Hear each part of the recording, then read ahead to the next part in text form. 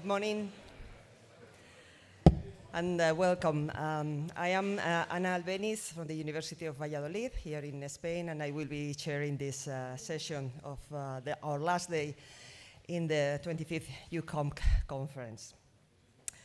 Perhaps we're a bit slow this morning after uh, yesterday's wonderful uh, evening. But no worries because we have a group of uh, great speakers this morning and also interesting talks, and I'm sure they will keep us on our toes, right, all the time. Uh, just um, um, something to mention, uh, for especially for the people who are uh, in the other room, in the mirror room. Um, there's a possibility for them to ask questions through the Q&A, um, so somebody will tell me, hopefully, if there are any questions and I can uh, um, translate or um, um, ask uh, the speaker for, uh, for them, right? So don't be shy and ask questions if, uh, if you have. Well, it's a great pleasure for me to introduce the plenary speaking this, speaker this morning, um, Professor Pedro Perez from the University of uh, Huelva. Pedro studied chemistry at the University of Seville and all the BS, MS, and he also obtained his PhD there under the supervision of Professor Ernesto Carmona. Then, as a Fulbright scholar, he moved to the University of North Carolina in Chapel Hill to join the group of Professor uh, Brookhart. Um, and in 1993, he uh, came back to Spain at the University of Huelva, where he started a small research group uh, called Coordination and Organometallic Compounds Towards Homogeneous Catalysis. And uh, then he was promoted there uh, till the, his um, uh, current post as a full professor of inorganic chemistry. That small research group at the beginning uh, grew very much, and he has evolved to a very big uh, research uh, structure right now, which is the Sustainable Chemistry Research Center, CIQSO. he founded and he has served as director for several terms. Pedro is uh, recognized as one of the leaders in the, the field of alkane uh, catalytic functionalization, including methane, and also the use of alternative reaction media such as uh, supercritical CO2. Uh, he has provided a number of uh, important developments in the CH functionalization of uh, raw materials, alkanes, as I mentioned, um, via carbene, nitrene, and oxo insertion in CH into CH bonds. And for, because of that, he has uh, developed several novel catalytic reactions uh, all over the, over the time. Um, I have to mention that being one of the uh, leading organometallic chemists in Spain, he has also been very generous and have, has been very much involved in all the activities of the Spanish Royal Society of Chemistry. He has been a member of the board for some time, uh, serving as in the capacities as Secretary uh, General and also President of the Organometallic Chemistry Group. Of course, he has received uh, numerous awards under conditions. Uh, let me mention just the Chemistry Europe uh, Fellow in 2020.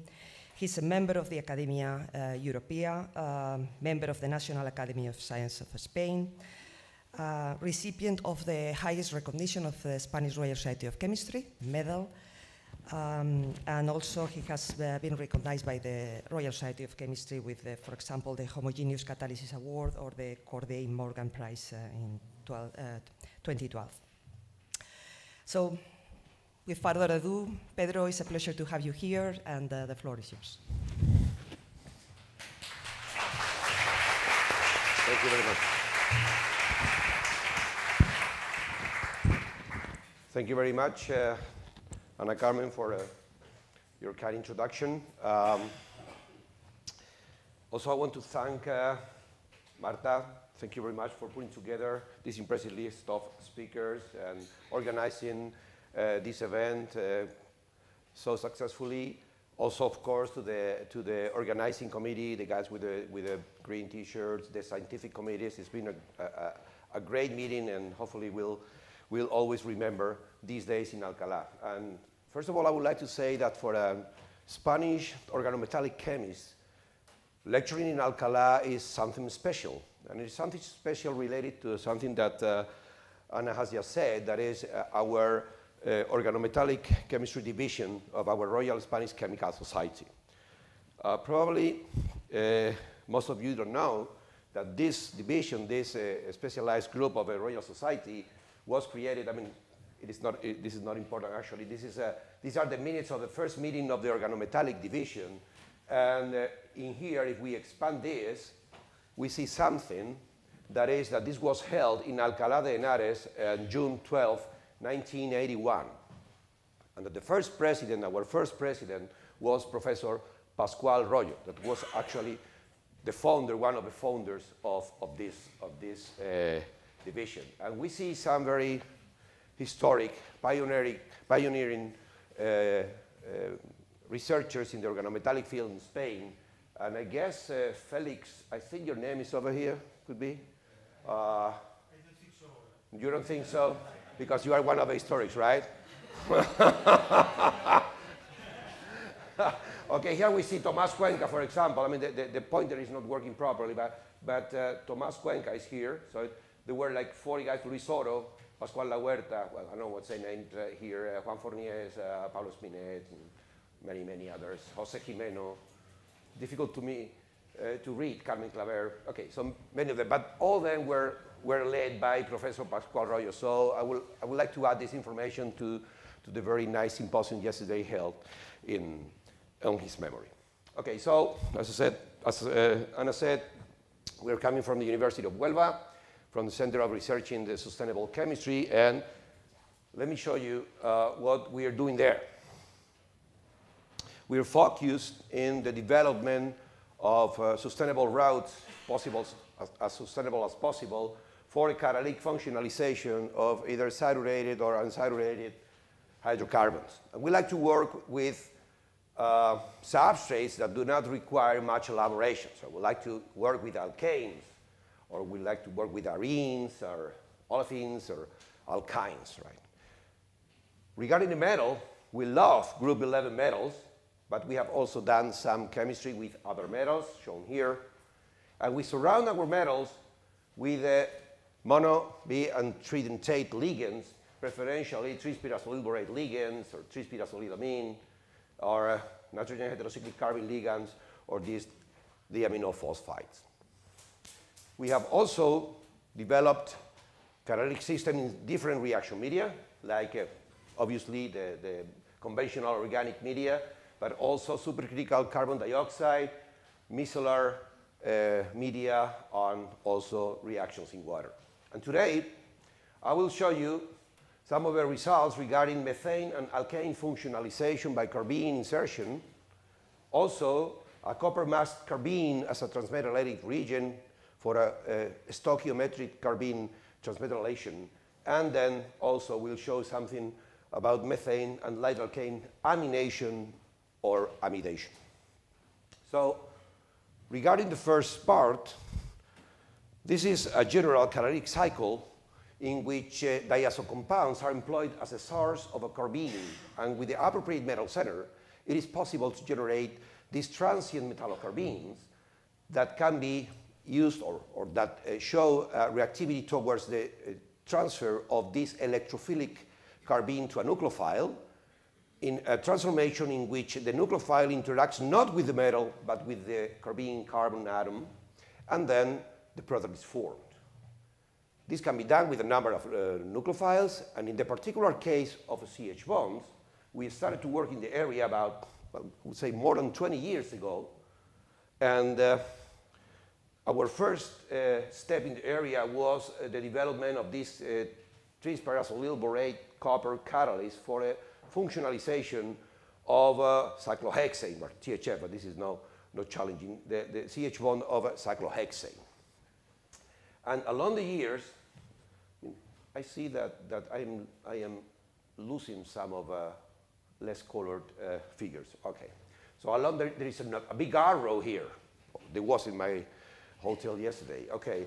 And uh, so when we move, we started here, as I said, more than 20 years ago. Then we moved to less donating ligands, because remember the carbene is electrophile, so how do I increase electrophilicity? Reducing the donation from the ancillary ligand. So if I place electron withdrawing groups onto the ligand, then the donation is lower, so the carbene is more electrophilic.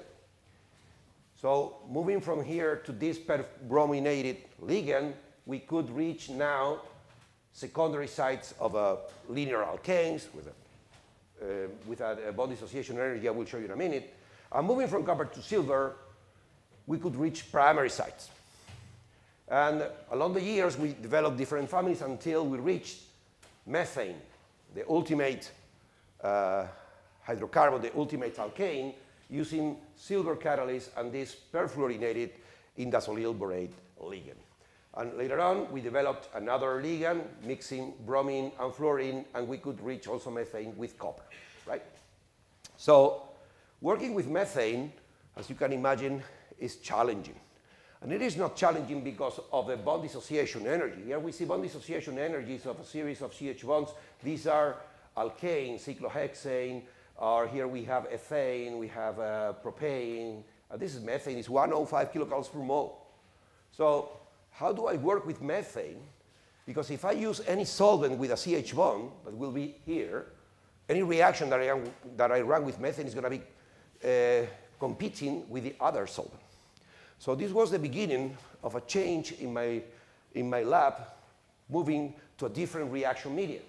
If we need a reaction medium with no CH bonds, we thought, not actually, I didn't, I'll tell you in a minute how, how we reached it into this, this new uh, solvent using supercritical carbon dioxide. If you submit CO2 above 73 bars or 31 degrees, then CO2 is a supercritical fluid that is, let's say, a solvent, right? I'll show you a video later on. The problem is that to work in supercritical CO2, you need to dissolve the catalyst, and uh, the best way to do that is to use fluorinated catalyst. And as I said, I would say that 15 years ago, I had no idea about supercritical fluids nor supercritical carbon dioxide, and it was when I met my good friend, Gregorio Asensio, that had a, a long uh, tradition working with uh, this uh, media in his lab at the University of Valencia, and we started a fruitful collaboration. Everything we have done with supercritical CO2 comes from this collaboration. He and his group taught us everything about this, and unfortunately, Gregorio passed away at the beginning of this year. So I want to dedicate this talk to him today.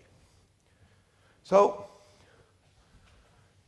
we ran the reaction with the appropriate fluorinated uh, silver catalyst, methane, ethyl diazoacetate, and we were very happy to see that we could reach uh, the insertion of a carbon into methane, the first example of this reaction ever.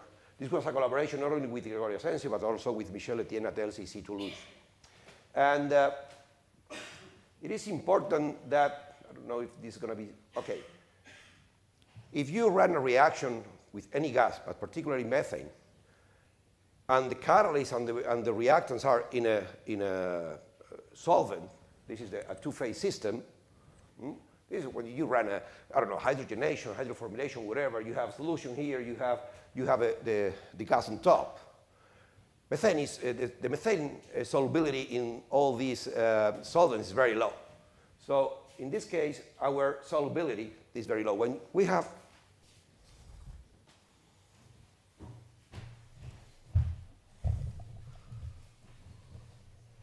Wow. This is a Star Wars. it's a laser saber. Okay, so um, the only problem is that it, it is green. So for Sevilla supporters, we hate green, but anyway. Uh, I, I do this because of you, just once. I'll use the green one. Ernesto would never use the green one. Okay, so if we have this pressure on top, this is more or less the, the solubility of methane in benzene or, or one of these hydrocarbons when we have a supercritical mixture of methane and CO2, we have solution. And the solution is that the solution has is one phase, and we have more than well, we have six molar. Okay, so we have like 30 to 35 times more methane dissolved. That means we have more methane around the catalyst that is dissolved. So working with supercritical fluids helps us help us to increase the concentration of methane and, of course, trigger the catalysis. Okay. this is obviously also a problem when we have to think how much of methane and CO2 use, because the more, here we see the solubility of a catalyst in terms of a ratio methane CO2. So when you increase the amount of CO2, then you have more catalyst dissolved, but then you have less uh, methane around. So we have to look for, for, for the appropriate conditions in which we have enough catalyst and enough uh, methane. Okay, so, all right. So let me show you this video for those that uh, have never seen uh, supercritical CO2. So we, this is a, a you know, pressure vessel. Uh, we have a all right? So here we are placing the diazo compound, is the yellow thing. The, the, the, catalyst solid is also there, so this is open. And now we charge the, oh, wait, uh, as you can imagine, I, I, don't know how to do this, but so this is one of the students doing this, and uh, everything is uh, computer controlled. And now we first pressurize with methane. Of course, nothing happens because all we have inside is a, is a gas.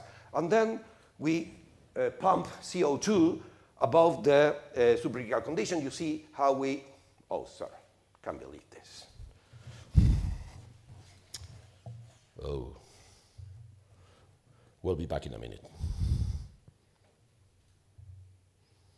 So you see, when CO2 supercritical was uh, showing up, so shy. Okay, I won't teach it. So what I said that when we pump CO2 inside, you will see how some drops first form, and then the amount of, uh, let's say, fluid, you see some, some drops, more and more. This is accelerated, but it is just a two-minute experiment. You see, this is just pumping CO2 inside, and after two minutes, two, three minutes, we have an homogeneous solution. The whole reactor is full of uh, this mixture of CO2 and methane, the catalyst is dissolved and the diazo compound is dissolved. And in a GC directly connected to the, to the reactor, we see how this is done. So this is what we are going to use um, in many, when I say this is done in supercritical CO2, this is the, the experimental setup. Okay, so let, us uh, see which is the mechanism of this transformation. So this is the reaction profile that was, done by Feliu Maseras. First, we have our catalyst precursor, dissociation of THF and then interaction with the diazo compound. And now we have this transition state in which nitrogen is going to be stirred and we form the metallocarbene. Now the metallocarbene reacts with the, in this case, methane. You see the barrier, in this case, is about 8 kilocalories per mole. So um, we have this transition state, and from here the reaction occurs in an irreversible manner and we have finally the product, and we restart with, or we, we recover our catalyst. Okay, so if we take a look at this profile, we can detect three barriers here. This is the rate determining step. That is the formation of metallocarbene. This is very common when working with diazo compounds and transition metals. This is the uh, the step where the selectivity is going to be decided. If I have two different CH bonds, here, depending of the, of the delta G, double dagger will activate more or less of one or the other. And finally, as we can see here, this is like 60 kilocalories per mole, so we are working on then under kinetic uh, control. When we form the product, sorry, when we form the product, so we do not revert back, right? So after we uh, activated methane, we found out that there was not any scale of uh, nucleophilicity of alkanes uh, using an organometallic electrophile. So Olah's work, Nobel Prize in the 70s, that was uh, this um, uh, chemist that uh, discovered all the chemistry we study in, in our undergraduate program with superacid, protonating, alkanes, and so on. They have kind of studies with alkanes, including methane, but using superacids where we have uh, our proton as the electrophile. But with an organometallic electrophile, that is our metallocarbene, there was not any scale. So we decided to take a look at this, and we ran competition experiments between methane and different alkanes to evaluate the relative reactivity. This work was done by Andrea Olmos and Ricardo Gava. So when we have, for example, the reaction of propane and methane, we obtain a mixture of products, one from, uh, mm, uh, from methane, two from propane. These are some starting materials and, and byproducts. And we take a look at the profile. Now we have our carbene interacting with two different CH bonds, or three in the case of propane. This is methane, this is the other CH1. Methane is going to have uh, the highest, uh, the highest uh, barrier, and then the other is going to be here. So we can calculate the delta delta G double dagger applying simple kinetics like this one. The difference is going to be given by this one, and, and this ratio actually can be uh, connected to the relative reactivity, the, the, the difference, I mean, the, the distribution of products to measure. So Andrea and Andrea and Ricardo made this work with uh, 14 different um, alkanes, 29 different CH bonds, and of course they obtain a lot of numbers where we have the, the, experimental relative reactivity. These are the logs to apply in the, in the previous equation, and the delta delta G. Of course, the best way to analyze this is to put it in this graphic form. And now, if you go back to your book, in the undergraduate program, you will see from this protonation of a CH1 of alkanes, I mean the electrophilic attack onto the uh, CH1 of alkane, that the sequence is methane, primary, secondary, tertiary sites. And this is what we, we all learn, but this is uh, as I said, when you protonate the CH bond. But when we have these big electrophiles, this is the electrophile, this is now substituting the proton. As you can see, this is not true any longer. Of course, methane is the less reactive, it's here. But then, in red, primary sites, in blue, secondary sites, in green, tertiary sites. And as you can see, there is no a trend. There is no a trend because now what we have here is a big, big, big electrophile. So this was just a demonstration that it was not done before, that when we propose these trends in, in reactivity, electrophile, nucleophile with alkanes, I mean, let's not follow the protonation trends because it's not going to be uh, uh, true. Okay, so once we have all this experimental data, we said, is, is it possible to connect the reactivity, the relative reactivity, with uh, some kind of uh, descriptors uh, of the CH1. And we faced that, again, with uh, Feliu Maseras and, and, Gregorio, and we developed this uh, quantitative descriptor-based alkane nucleophilicity model, the QDAN model. And this is a model in which we can obtain uh, a theoretical value of the relative reactivity of two CH bonds referred to methane using very simple descriptors. The type, I will show you in a minute, the type of a, of a carbon is going to be primary, secondary, or tertiary.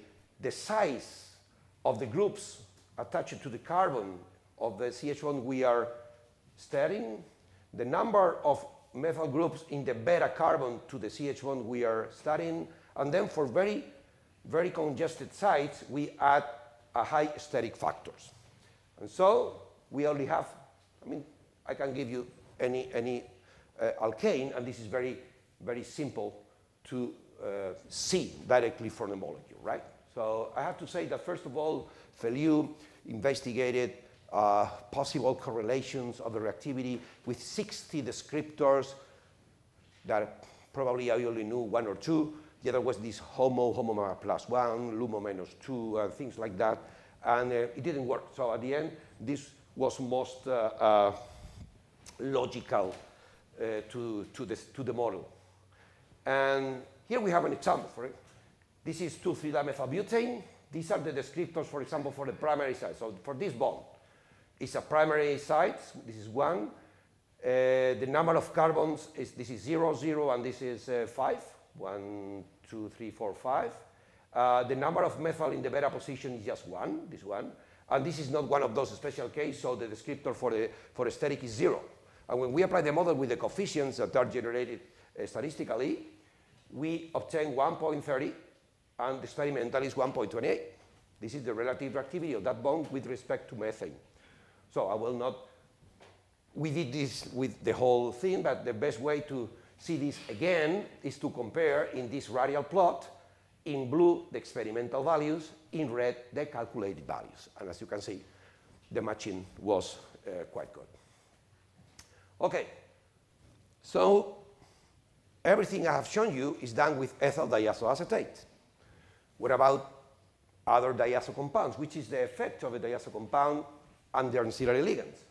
So these are uh, very recent results, and uh, we asked you, why don't you study, why don't you calculate the activation barrier of a CH bond of methane with different ligands and with different diazo compounds, bearing donor acceptor uh, or just donors, I'm sorry, acceptors, okay?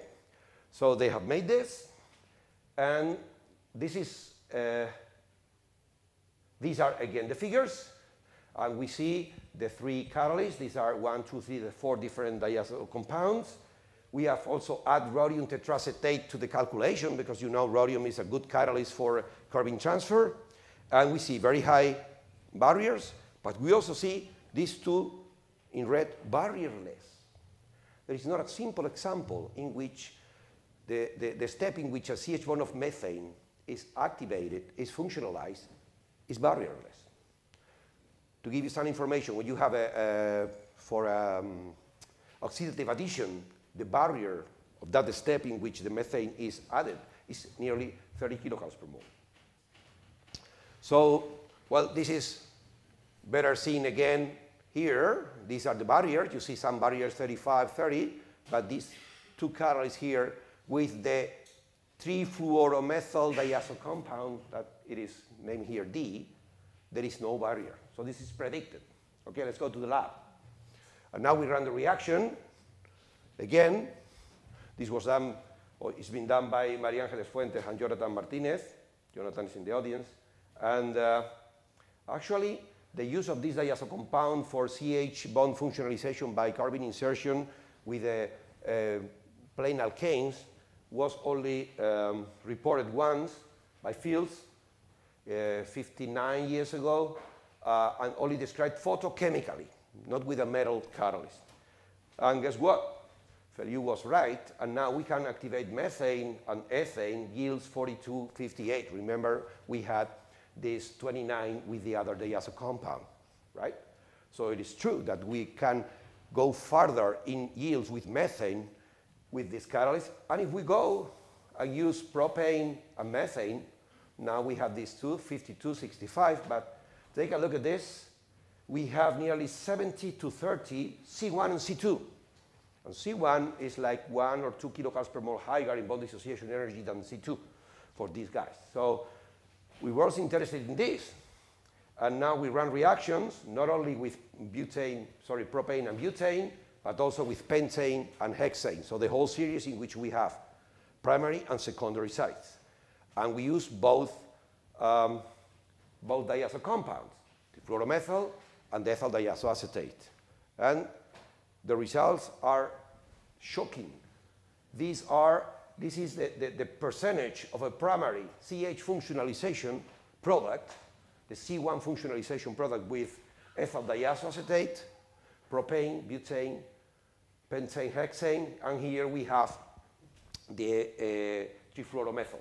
So there is like a 25 to 30% difference. The CF3 group is not only more active, more reactive, the carbene, but also is more selective. And so, why is more selective? Again, let's go to the ICIQ and Feliu's uh, lab, computer lab, and this is what they have found. This is with ethyl diazoacetate and propane as the model. We see here for the primary sites, the barrier is 3.7. For the secondary, is 2.7. There is one kilocalorie more per, uh, difference. And this is exactly what corresponds to what we observe experimentally. But guess what? With the trifluoromethyl diazo compound, there are no barriers. The DFT studies indicate there are no barriers for the primary and for the secondary. So what Feliuha and, and his group uh, have done is molecular dynamic calculations. And what we see here, I mean, they, they have, let's say, counted the number of molecules and the orientation of the molecules that are inside a sphere around of a radius of six angstroms. And they have calculated, they have estimated that there is a higher probability of interception of a primary site in that sphere. The, the, higher, the highest is in the peak eh, or in the distance between 5 and 6.5, whereas for a secondary site, the sphere is 5 to 7.5. So they are barrierless, but it is this orientation around the carbene that makes that the primary sites are preferred. Okay. So we've been working in this area of transferring carbenes from, uh, from uh, diazo compounds for, uh, for uh, many years, and we have done many, many uh, functionalizations to olefins, alkynes, in the alkanes, and so on. Certain point we said, let's go and try to see a metallocarbene. Let, let, us try to see this guy. And uh, Ana Pereira started this during her thesis. First, first try was very simple. Uh, we take this catalyst and we add just the diazo compound, carbon 13 label. This is the ethyl diazoacetate, but even at minus 80, we only see coupling of, a, of the um, uh, carbene, right? So we don't see any carbene. And then she moved to uh, donor receptor, in this case, this is the catalyst, this is diazo. We mix it at minus 35, and we get this orange solution. And she managed to isolate crystals from there that were not, was not a carbene, a metal carbene, was this diazo, diazo adduct. Actually, we could have the, I don't know if you see that, but here we have a copper, and this is the nitrogen, nitrogen, and carbon, right? So we know that the first step is coordination of a, of a diazo compound. I mean, no big deal, but it was nice to have it.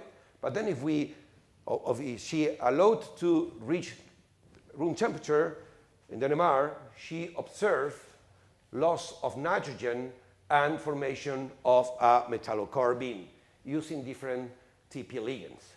And so these are the resonances of this carbene, uh, carbon atom. We see there is a, difference in, in the uh, chemical shift. But what is interesting also from an inorganic organometallic point of view is that we found a very nice correlation in between this chemical shift and the new COs, the, the stretching, uh, the carbon stretching bands in the IR uh, for the corresponding TP copper carbonyl. So this is a very nice correlation. So this is, uh, on the other hand, quite logical because if we take a look at this simple picture of the interaction in the um, donor acceptor of, uh, of uh, orbitals, both the CO and the carbenes are quite similar. Okay, so we saw carbenes, but we saw the substituted carbenes that were known, no big deal. We wanted to see a mono-substituted carbene. So Maria Alvarez tried different things, and, and uh, at the end of the day, she tried this diazoceramide. I mean, there is another story to explain why she took this one. She, she picked this one, but I have no time for that. So when she ran the reaction of this copper complex with this uh, labeled diazo compound, she observed a resonance in, in the carbon NMR at 236. Looks like a, a, a carbene. Very happy. Wow, eureka. And uh, Actually, in the proton, we see the doublet because this is labeled. Very nice. This is an heterocorrelation. Believe me, there is a mark here. This is the doublet. This is the carbon. Okay? Very good. But we thought we have it, we have it, we have it. But when Maria started to see the, the, the NMR data, she said, there is no carbonyl resonance. Hmm? We need a carbonyl resonance anyway. There is no carbonyl resonance.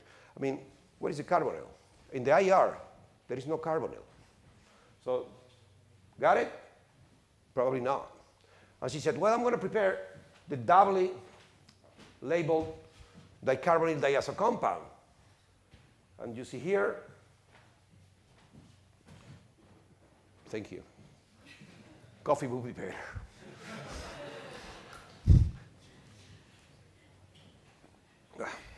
thank you very much for coming. I didn't say that you, you all are survivors of, of a last night. Okay. Um, so you see these, these are two doublets, obviously, because of this coupling. And when she ran the reaction with this diazo compound,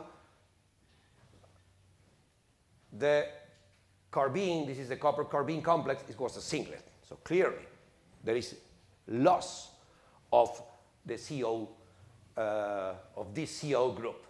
And she also managed to grow crystals, and the copper is here, CH and N with the 2 ethyl, there is no carbonyl there. So this is a carbene decarbonylation, and actually the distance of a carbon-nitrogen bond is about 20, 128, I guess, yes, here. There is typical for a CN. So this is more like a Fischer, uh, classic Fischer carbene. So why is this important? Because for those working with diazo compounds, hmm, usually, uh, for example, BAS, if we put a diazo compound, we expect that the carbene, the, the, the two substituents in the carbene, in, sorry, in the diazo compound, is going to be the same one in, that in the carbon. We, we expect that, we assume that. You never expect that this is going to be different from this one. That is what happened in our case. Here we have a CO-Na2, and here we only have the diethyl amine. So this was the first example in which there is a transformation in which the, the, the carbene is modified, right? And this was a very stable compound. That's why we have the, the X-ray. Obviously, this is not electrophilic anymore. Hmm? Actually, it's nucleophilic. We could not transfer that, but we took advantage this is a collaboration with uh, Ana Carmen Albeniz and Agustí Lledós, in which this is the metallocarbene, the copper, the, the copper carbene, and we have found that we can transfer this carbene to other metal sources very nicely. For example, with the rhodium chlorocyclooctadiene, uh, we obtained this one. Same thing with others, CP star, rhodium dichloride, uh, palladium dichloride, uh, phosphine acetonitrile, or this even gold chloride THT.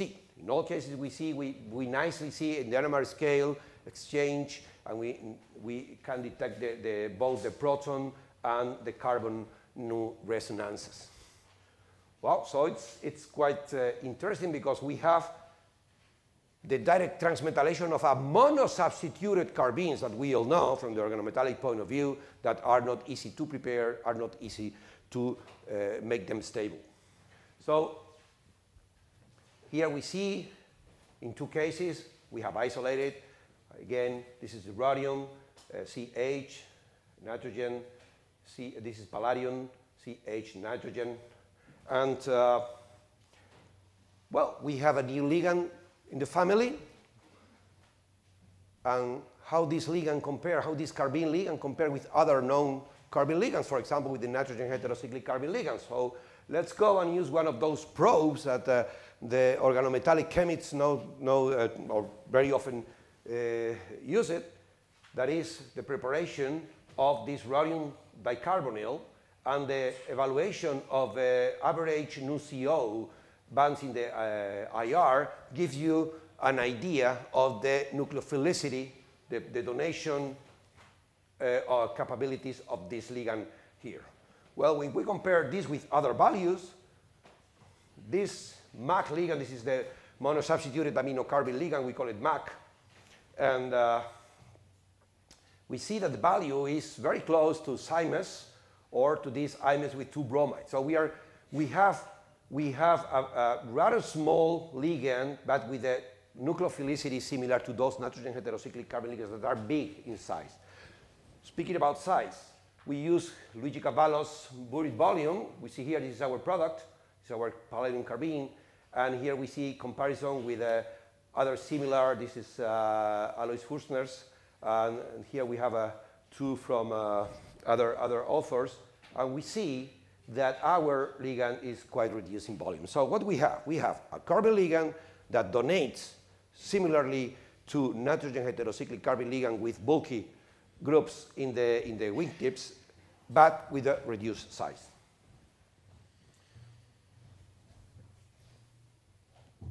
But it is stable. It is so stable that we've been able to prepare the first uh, carbene, monosubstituted carbene of this rhodium tetraacetate. This is the universal, I would say, universal catalyst for carbon transfer. Many authors have, uh, since the discovery by Noels and Teyssié in the 80s, all the rhodium, the rhodium chemistry transferring carbene comes from, from, from this uh, uh, skeleton. So we can isolate this, or we can uh, um, characterize this one, and we see very well. You don't see, but this is a, a doublet, or this is a doublet of doublet coming from the, uh, this um, um, coupling with the two different rhodium. And if we take a look at the data, we compare with the only two other examples in the literature. This was reported by Huw Davies, this by Alois Fürstner. You see they are disubstituted. There are no monosubstituted carbenes of this, of this carbon, and this is, this is not transferring the, the carbene anymore. There are similar compounds with nitrogen heterocyclic carbene ligands, a substituent, and so on. No one with a monosubstitute. So how does transmetallation occur? So we have Agustí Lledó's calculation, probably the author most seated along the conference. and uh, this is how the reaction occurs. Let's see if, if all the pictures can be seen. So we're going to go from this TP copper carbene and the palladium to TP copper acetonitrile and the carbene here. First step is that the TP moves from kappa 3 to kappa 2 and palladium and copper approach. Here we have a kappa 2 uh, TP ligand. Now we have this interaction between copper, palladium, and the carbene, and acetonitrile is moving away. Now we have now this uh, bismetalla, cyclo, wherever, uh, as a, an intermediate. Acetonitrile is out, and we have a kappa 2 TP mesotyl. Guess what now? We move from kappa 2 to kappa 1. So mono, monodentate TP ligand here and uh, uh, now is approaching copper, we still have this three-member ring, and now we have a still kappa 1, acetonitrile bonded to copper. I'm mixing intermediate and transition state, but trying to follow all the process. And here now we are moving from kappa 1 to kappa 3, acetonitrile bonded to copper, and now these copper, palladium, and copper carbene interactions are disappearing, finally leading to the products. So this is a, a it, it is this capability of a TP ligand to being kappa 3, kappa 2, kappa 1 that allows this transmetallation to be so favorable. Well, let's switch gear to nitrogen transfer. We have also done many, many uh, nitrogen transfer reaction along the years in, in my group using the same scaffold, TP copper silver, through metallonitrenes. These are uh, metallonitrenes that are uh, triplet uh, nitrenes. And we have transferred to a different substrate, alkanes, olefins, arenes, dienes. We have also discovered new reactions uh, with furans or alkynes or amines or allenes in which there are some other rearrangements after the nitrogen is transferred. And one thing we wanted to do, imagine or guess what? We wanted to transfer to methane, right? Because, I mean, we can activate methane with, uh, with the carbene, but we want to do that with nitrene because there is not a single example in which nitrene, nitrene in this manner is transferred to methane. And so there is one paper from Suk-Bok Chang, published a couple of years ago, in which uh, with a cobalt porphyrin and uh, this uh, azide, the Troc azide, could functionalize the CH bonds of ethane and propane and butane, but not methane. So after this work, this is fun because after this work was published, I had at that time three, three, uh, two postdocs in my lab, and, and, Elena, that is in the audience, is following this work, um, that came into my lab and said, have you seen this paper? Uh, yeah, well, yes uh, why don't we try that with methane? And if you take a look, we usually, let me go back, we usually this, use this uh, iminoiodinane as the nitrene source, never azides, because when we use tosyl azide, this is not working. Tosyl azide does not give our TP copper or silver nitrene. So they said, why don't we try this?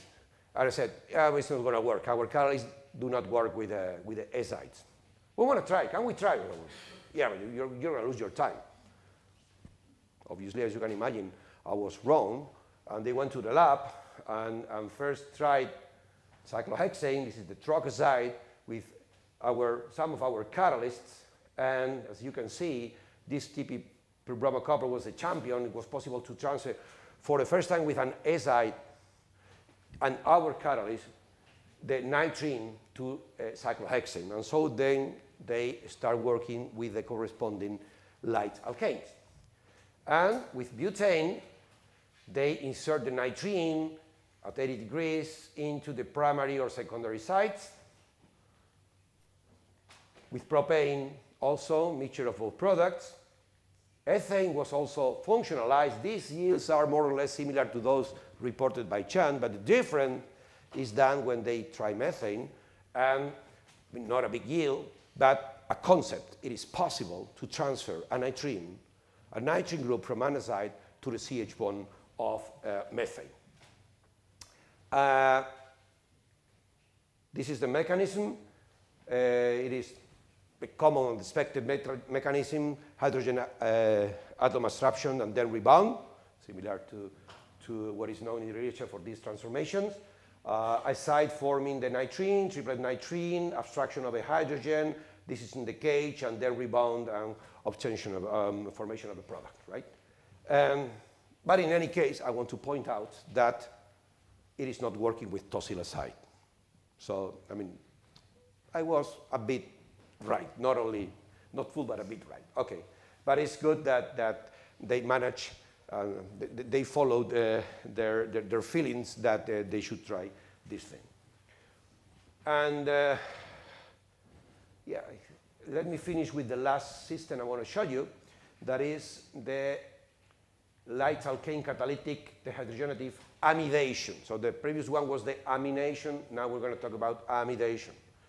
So this is a paper, this is a precedent from John Hartwig's lab in which he reported the use of a copper catalyst and uh, di-tert-butyl peroxide to form the carbon-nitrogen bond and losing formally hydrogen. That is not nitrogen, actually. So after we saw this report, one, one day we talked together and we said, why don't we try your system in our reactors and we try to see if it is possible to do something with gaseous alkanes. And he said, well, yeah, why not? Let's do it. And so the objective was to do the same thing, but with gaseous alkanes, and if possible, ultimately methane.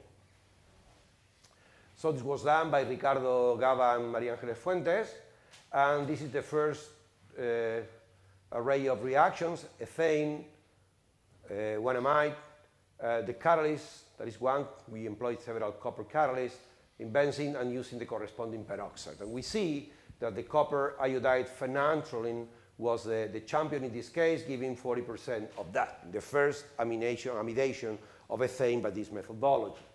As you see here, we have this product that is a methyl group. The, this, this ethyl is coming from ethane. The methyl is coming from the decomposition of a butyl group.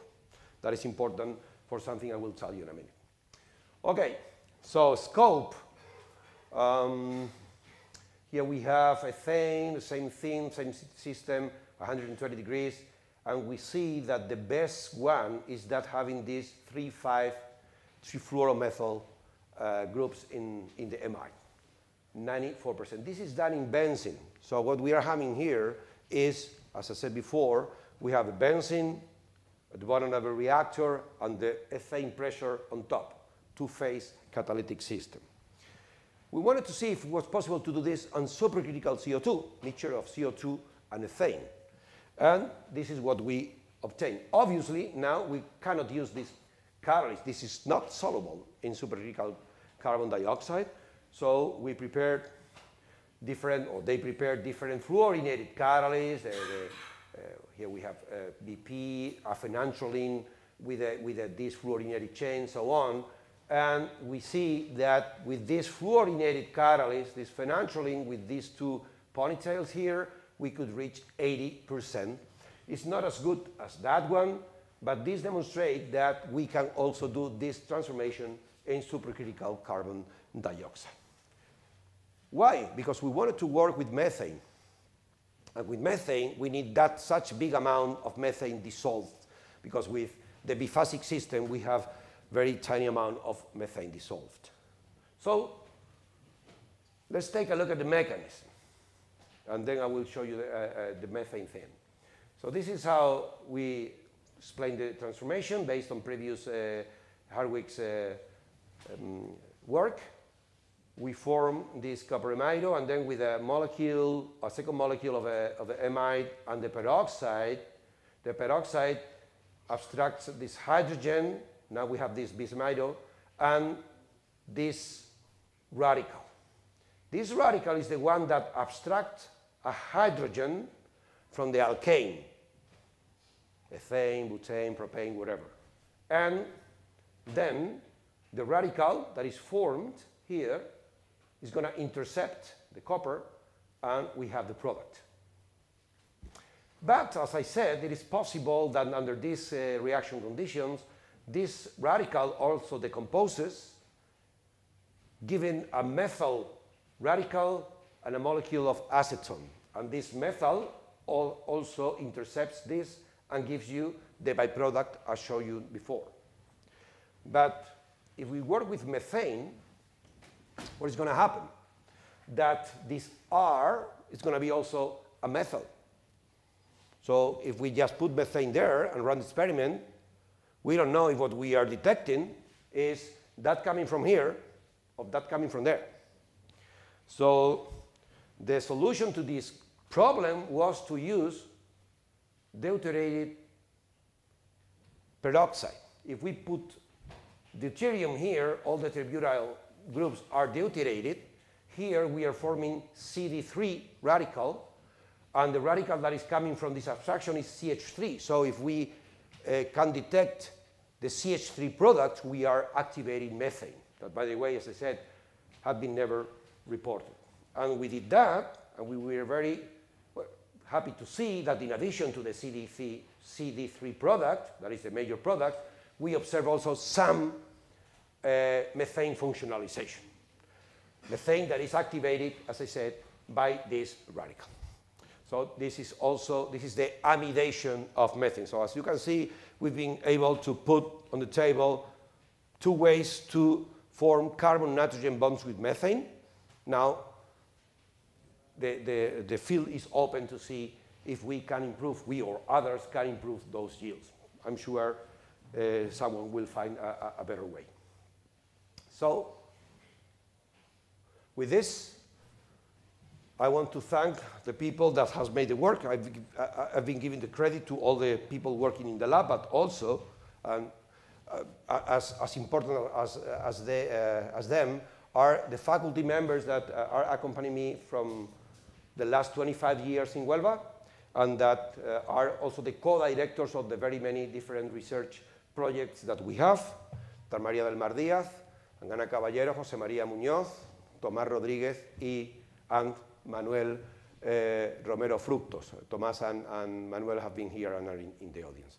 People working in the lab, as I said, people who give money, and uh, again, I want to thank Marta, I want to thank uh, the, the organization for this excellent, outstanding uh, organization of this meeting. And of course, thank you to all of you for your attention.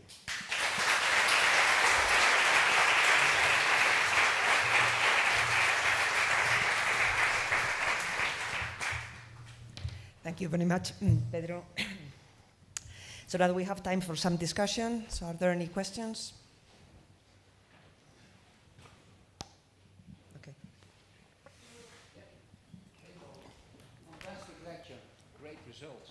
Thank you, Bas. You're a good friend. we, uh, of course, this this MAC ligand is fascinating. Uh, it's it's it's not a big Mac, but a small Mac. Yeah, yeah. Really nice.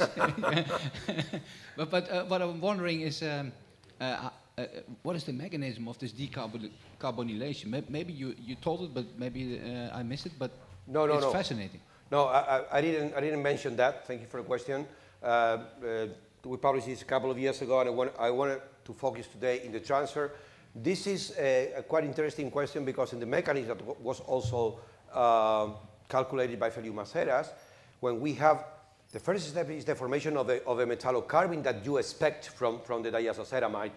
Uh, that is, you form the, the carbene and you have the, the carbon, car, uh, the carbonyl, the nitrogen. But then that evolves to a ketimine. So you form this C double bond C double bond O in there, and then from there, the, the, the, there is a, um, uh, a shift of the nitrogen to the, to the carbon, of the carbon-carbon, and formation of a CCO, and that is the place where the, the, the carbon is, is uh, cleavage. So it's through a, a, a ketimine um, intermediate. Ah, great, interesting. Thank you. Um, Miguel, there's a question here.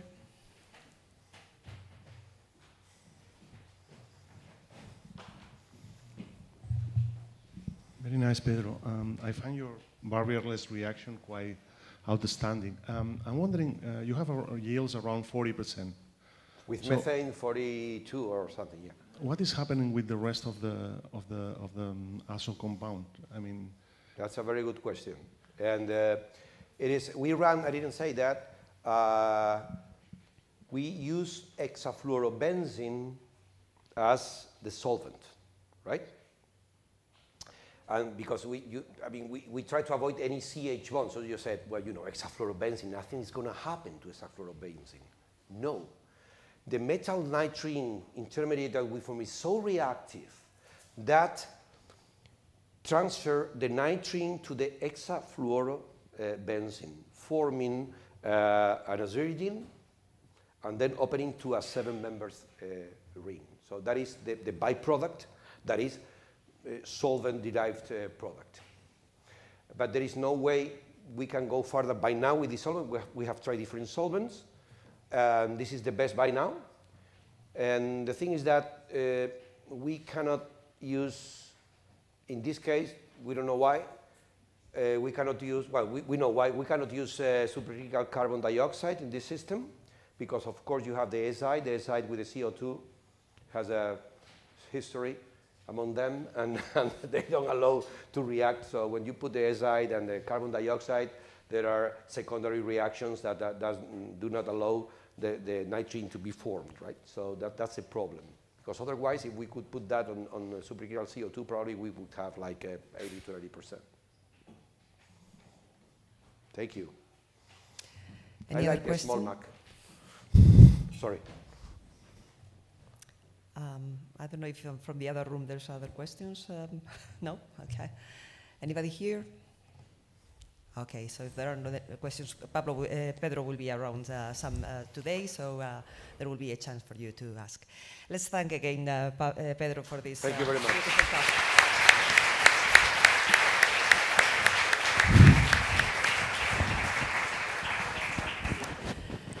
Okay, so we move to our oral communications, and the first one will be our first speaker, Eva Hevia. Uh, she's a professor of inorganic chemistry at the University of Bern in Switzerland.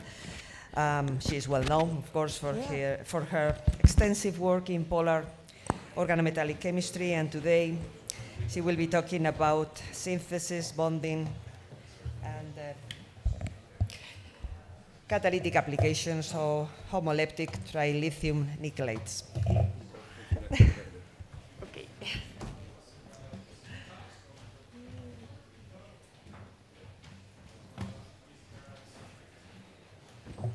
Okay.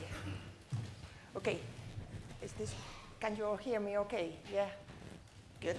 So first of all, I, I, would like to start by also thanking the organizers for a fantastic meeting and also for giving me this opportunity to share with you some highlights of our work uh, on zinc chemistry. And uh, this is Bern, of course you all know this now.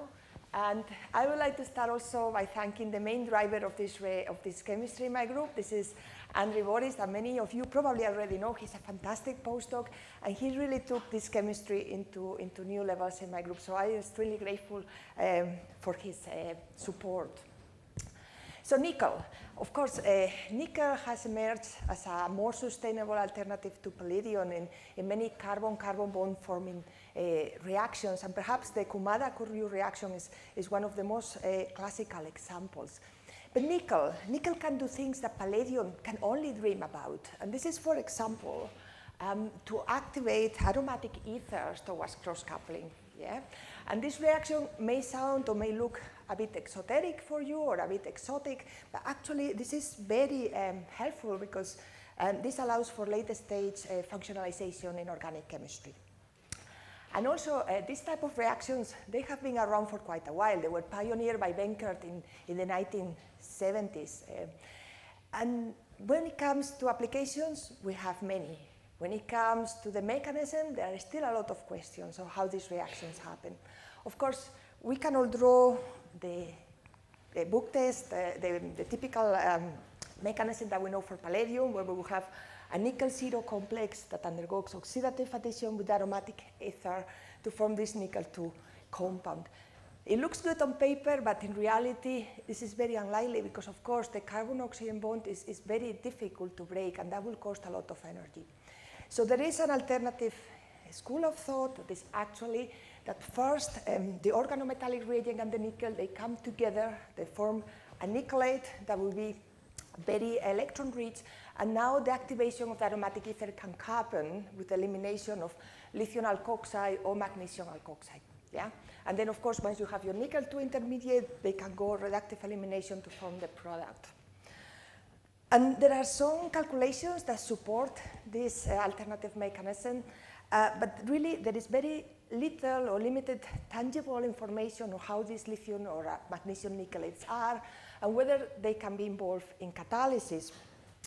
But it's worth to say as well that in the 1980s, there were seminal papers uh, where alkali metal nickelates were prepared using nickel zero precursors. And actually, they were used within the context of a small molecule activation, but not so much within catalysis. I say limited because, of course, there are seminal papers coming, and I'm very happy to show you this from one of our speakers, uh, Pep Cornellà. He actually uh, used this low-valent lithium nickelate as a catalyst for um, Kumada coupling reactions.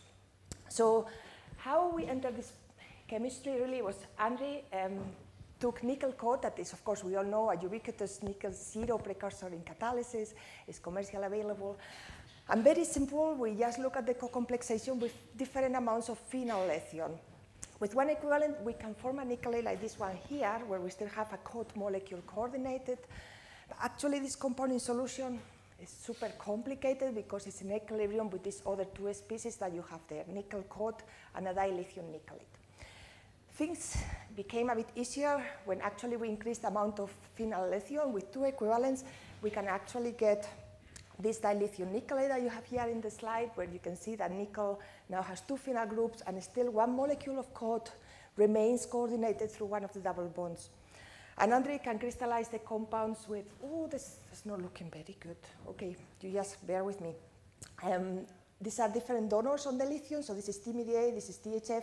The main motif is what you see here, uh, but we can, we can isolate the compounds with different donors on the lithium. With these compounds in hand, then we could look at the stoichiometric reaction of the dilithium nickelate with aromatic ether. And at room temperature, we can see very nice by NMR that we get the, the heterocoupling product, so homocoupling, but more importantly, we regenerate nickel COD. That, of course, is very important when you think about the catalytic implications. But the surprise, or perhaps what was more surprising for us, we get with all the lithium nickelates the same selectivity, the same conversions, but the time of the reaction is totally different. With THF, with ether, instantaneous. If you have TMDA on lithium, takes up to six days. And of course, we come from the group one metal world, so this is quite exciting because at this stage, what we could hint is that there is some type of bimetallic cooperation. And of course, nickel is doing the catalysis, but you, what happens to the lithium is playing an important role here. And what we suggest is that the lithium is perhaps acting as a built-in Lewis acid to which the substrate can coordinate, and this facilitates uh, the, the formation of the carbon-carbon double bond, single bond, sorry. We could not detect this compound in solution, but what we can see is that aromatic ethers are very good donors for organolithium reagents, and this is just one example of the compounds we isolated. Also, we can go from stoichiometric to catalytic reactions. We can take phenyl lithium with 2-methoxynaphthalene. We can use nickel COD as a catalyst, and we get the cross-coupled product. But again, we found that the donor, the solvent that you have plays a major role. In benzene, it works quite well, 70% yield. In THF, absolutely nothing, zero. Yeah? And again, that's very important because it's telling us a lot about what is happening to the alkali metal. At this stage, we started a collaboration with a group of uh, Marie Perrin and Pierre-Adrien Payard in Lyon, and we look at these reactions uh, combining the spectroscopic studies with theoretical calculations. And what uh, Pierre and Marie found out is actually um, the formation of the dilithium nickelate is favored, and also the displacement of cod by the substrate is energetically driven or is energetic favor. But also through these calculations, what we saw is that in order to facilitate this cod molecule to go away, the first point of entry is the coordination of the aromatic ether to the lithium. This is why it's so important what donor solvent you have or what donor additive you have. Then, once the cod is displaced, you have this activation of the substrate where the nickel pi bonds to the adding, and that facilitates the cleavage of the carbon-oxygen bond that, of course, this is the rate determining step. But even this cleavage, that formally is an oxidative addition, is quite special because if you look at the transition state, the methoxy group is never bonded to nickel. It's almost like a sigma bond metathesis. It's really bimetallic cooperation at this prime. The two metals are working together to get there. Yeah, and then that allows for the formation of the nickel 2 compound that we think is the product of oxidative addition. Of course, nickel, what it does is activates the pi system, but one can see it almost like an electron shuttle between the phenyl groups and the organic electrophile. In the lab, we could not detect these intermediates, these nickel 2 compounds, but Andre had a wonderful idea. He replaced cod with CDT, that is a much more labile uh, ligand to nickel, and under those conditions, he can actually prepare or isolate this dilithium nickelate. And now look at it, we have four aryl groups on two lithium atoms, so this is nickel 2, this is the oxidative addition product. And you can see now the carbon oxygen bond of the substrate is gone. Actually, we see formation of lithium methoxide. Yeah? And if we do the same reaction, and we use naphthalene that of course doesn't have a carbon oxygen bond, we can isolate this compound that is a mimic of the activation one I mentioned before, where the cod is gone and the substrate is pi bonded to the nickel. With calculations, we can also model the reductive elimination step. We can see that the lithium methoxide that is generated in the reaction becomes part of the intermediate, becomes part of the aid, is integrated in the structure of the bimetallic system, but with excess of phenyl lithium is displaced. And you form this compound here that is actually the one that we can structurally define and isolate under stoichiometric conditions. And then the reductive elimination uh, process has an energy barrier uh, around 16, 17 kilocalories per mole that of course is, is also uh, consistent with the conditions of the reaction that we have at room temperature. Andre can also monitor this by NMR. So he can see how uh, the lithium nickelate in THF, when you add one equivalent of cod, is no longer stable, the nickel 2 compound. It evolves to the cross-coupled product and regenerates this dilithium nickelate where nickel is again in the oxidation state zero. Yeah? So when you put these different pieces of the jigsaw, um, we can propose a bimetallic mechanism for this Wenkert reaction. A mechanism that is based on the formation of lithium nickelates. First, the nickel cod reacts with phenyl lithium to generate a highly activated nickel zero compound that is very electron rich. First step, cod has to go and the organic molecule has to coordinate to the, to the bimetallic system. And this is where lithium is playing a major role. It's your Lewis acid that is built in in the molecule and facilitates the reaction. Then, once the cod is replaced, we have the pi interaction of the nickel detonation into the, um, the arene, and that facilitates the rate determining step of the reaction, which is the oxidative addition, where, as I said, it's more like a sigma bond metathesis, where you generate lithium methoxide, which is incorporated into the aid constitution, and of course now the oxidation state of nickel is 2. With more phenyl lithium, this lithium methoxide is replaced, and you form this lithium nickelate that we can structurally define and characterize. And then uh, on the presence of COD, the cross-coupling occurs, and we get back to the beginning of the catalytic cycle. Yeah. So at least this is how we envisage a possibility of how these reactions can happen. And we just published this work very recently, last week, appeared online. Just to finish, because this is a short talk, uh, I also wanted to, to let you know that the nature, constitution, and bonding in these bimetallic systems is extremely depending on, on the type of alkyl, aryl, or alkynyl system that you have. If you take phenylacetylene with nickel COD, what we form is a different type of aid, this lithium nickelate that is crystallized very nicely. When we look at the structure, actually that nickel is very close to the lithium. One almost feels tempted to draw lines. But when we did some calculations, actually what we found is that there is no bonding or there is no critical bond between the point between the lithium and the nickel. In fact, the lithium-nickel interactions are repulsive, and what facilitates this motif is really the um, stabilizing London dispersion forces between the TMDA and the alkynyl groups. So this compound, while one can be tempted to call it a hexa um, coordinated uh, planar nickel center, is actually trigonal, pla trigonal planar. This is the structure, but uh, we started to look at some reactions, and we can see that under stoichiometric conditions, this lithium nickelate reacts with aromatic halides and forms these um, nickel zero compounds that are dinuclear. And what we have here is um, we generate a coupling product that is coordinated to the nickel 2 center. And the strong back retrodonation of the nickel into the carbon-carbon triple bond elongates the bond, but also you can see really distorts the planarity. Yeah? It doesn't look like 180 degrees. We can crystallize it, and the reaction goes very quickly with iodo-benzene. Unsurprisingly, with fluorobenzene, it takes longer. But if you replace fluorobenzene by naphthyl fluoride, the reaction only takes 15 minutes at room temperature.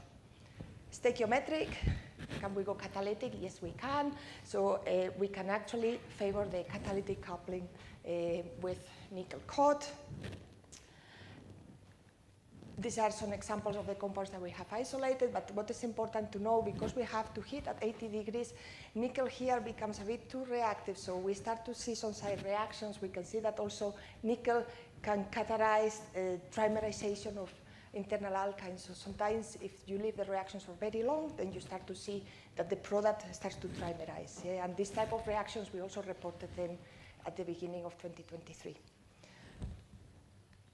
Okay, and the last slide, I just want to show you that this is with fluoroarynes, but things become more exciting when you have many fluorines in your molecule. Because what you can do when you take lithium acetylide, phenylacetylide with hexafluorobenzene and nickel COD at room temperature, you can replace no one, no two, no three, actually the six fluorines in the molecule, and you get this compound that crashes from the reaction, and we can isolate as a pure compound in yields above 60%. This is quite exciting because if you try to do this with palladium and you use a more activated molecule like hexaiodobenzene, you don't get, uh, you need to go under very forcing reaction conditions and you get mixtures of products. And of course, it goes without saying that the lithium reagent on its own can only activate one or two uh, fluorines. This is the compound that was reported in 2015. So really shows, I think, the power of bimetallic cooperation that many of you probably have heard me talking about that before, but not with the context of nickel. Yeah? So this is, as I said, something that we are very excited in the group. I get to the end.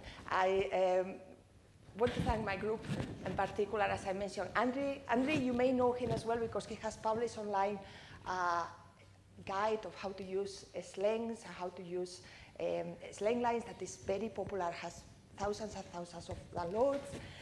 DSNF for the uh, sponsorship, and all of you for being there in the last day. Thank you very much.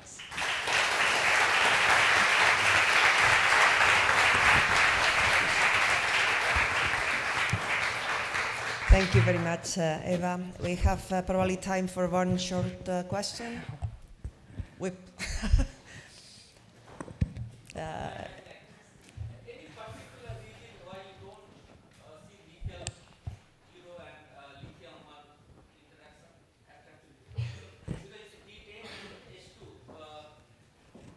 So um, the bond distance, the, the distance is very short. I mean, you mean in the trigonal planar, yeah?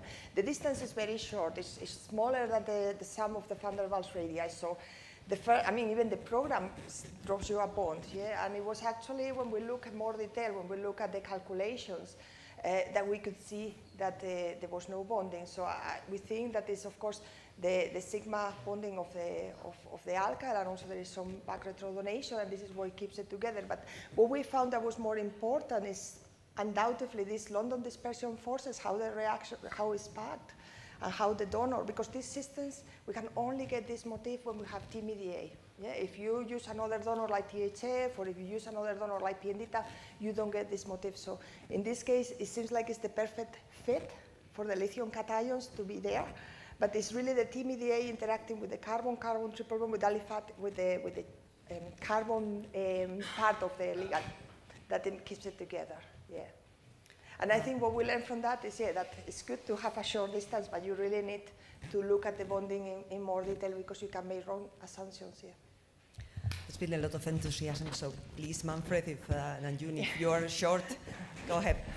Yes, your phenyl uh, nickelated, nickelated structure looks very much like a phenyl lithium cluster with a nickel atom inserted in the middle somewhere. Is that extendable to other lithium alkyls? Maybe butyl lithium is a hexamer. Yeah. Maybe just insert nickel atoms at random. So this is a very good question, Manfred. And the problem is that these systems are extremely reactive. Yeah, I give you here the, the nice uh, picture, but uh, I mean these systems react with the Teflon of the of the steering bars. They're still reactive. So with butyl alkyl groups, we cannot isolate or detect any aid. I think they are extremely reactive. They form for sure, but when we have alkenyls, and we have alkenyls that instead of phenyl groups have a long chain, actually what we get is clusters. We published this in ChemComm this year. So we can have 10 lithium atoms, 10 alkenyls, and then a nickel zero in the middle. So it's almost as you said, that's why I was laughing, like the insertion of the nickel zero within the constitution of the nickel, of the lithium compound. And yeah, but we need ligands that are not too basic or not too nucleophilic because otherwise you start to see decompositions. Yeah. Thank you. You, please. Again, um, your mechanism of very uh, Yes. Yeah, that's a good question as well. We have, I mean, I haven't, um, Andre has. So with sodium and potassium, the systems are too reactive. So when we try, for example, with phenyl sodium, what we see is that we activate one of the phenyl groups and we form a benzene. So we eliminate sodium hydride and we have like two nickel centers coordinated to the aryl group. So I think we haven't found the right system yet. The problem is, as I was telling Manfred, you need to have a, an aryl or an alkyl group or alkenyl, something that allows you to have some stability. But it's definitely something that, that we would like to, to look in the future. Thank you, June. Okay, thank you again, Eva, for this wonderful talk.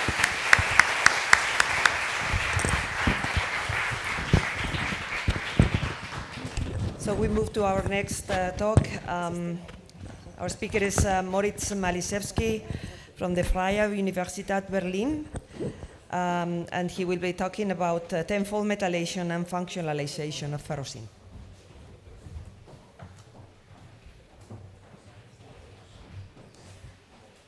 Okay, so thank you very much for the kind introduction and thanks to the organizers uh, for arranging this uh, wonderful meeting. So today it's my pleasure to, uh, sorry, my presentation. So, uh, um,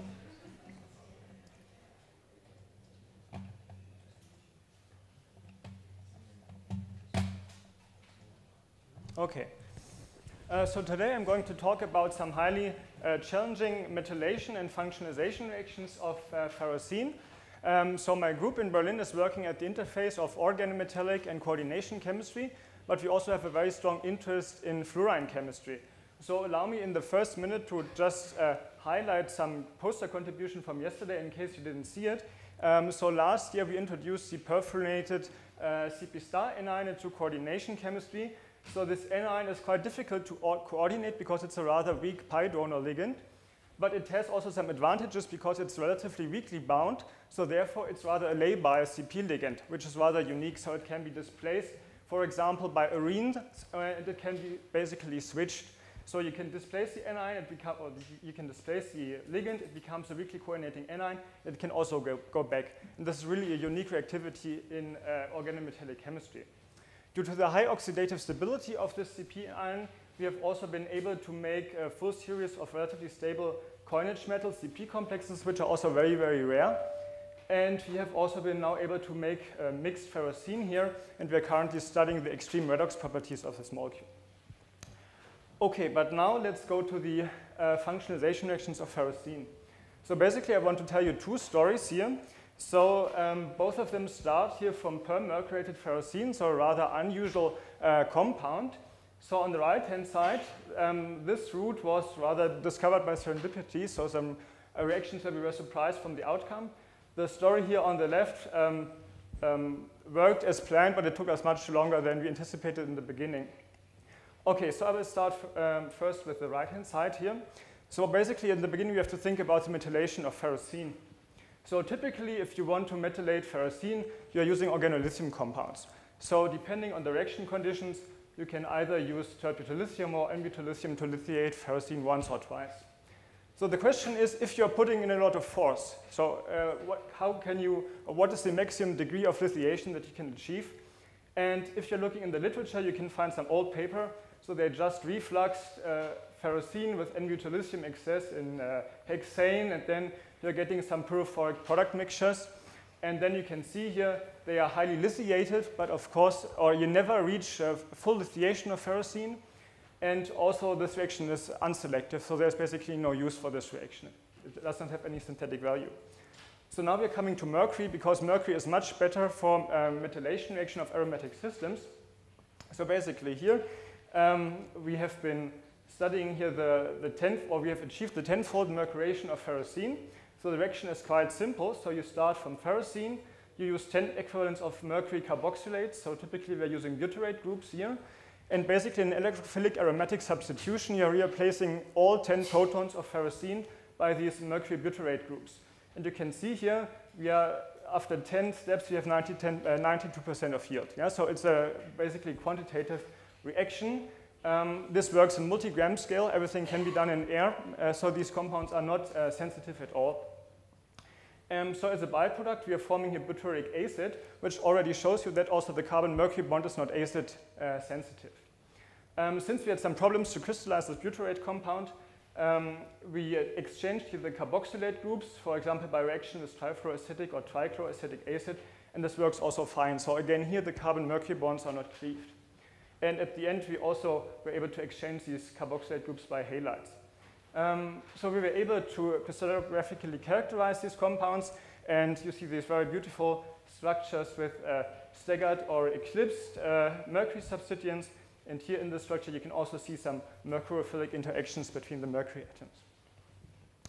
So if you think now about the polarization of the carbon-mercury bond, it's rather unpolar, but it's carbon minus and mercury plus.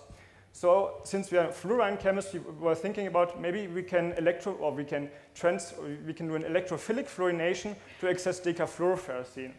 Um, we failed miserably, so this didn't work at all. But on this way, we discovered some rather unique uh, reactivity.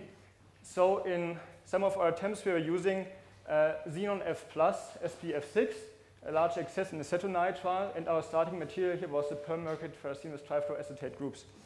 Um, so we got some blue crystals, and blue crystals here means you have some ferrocenium compound.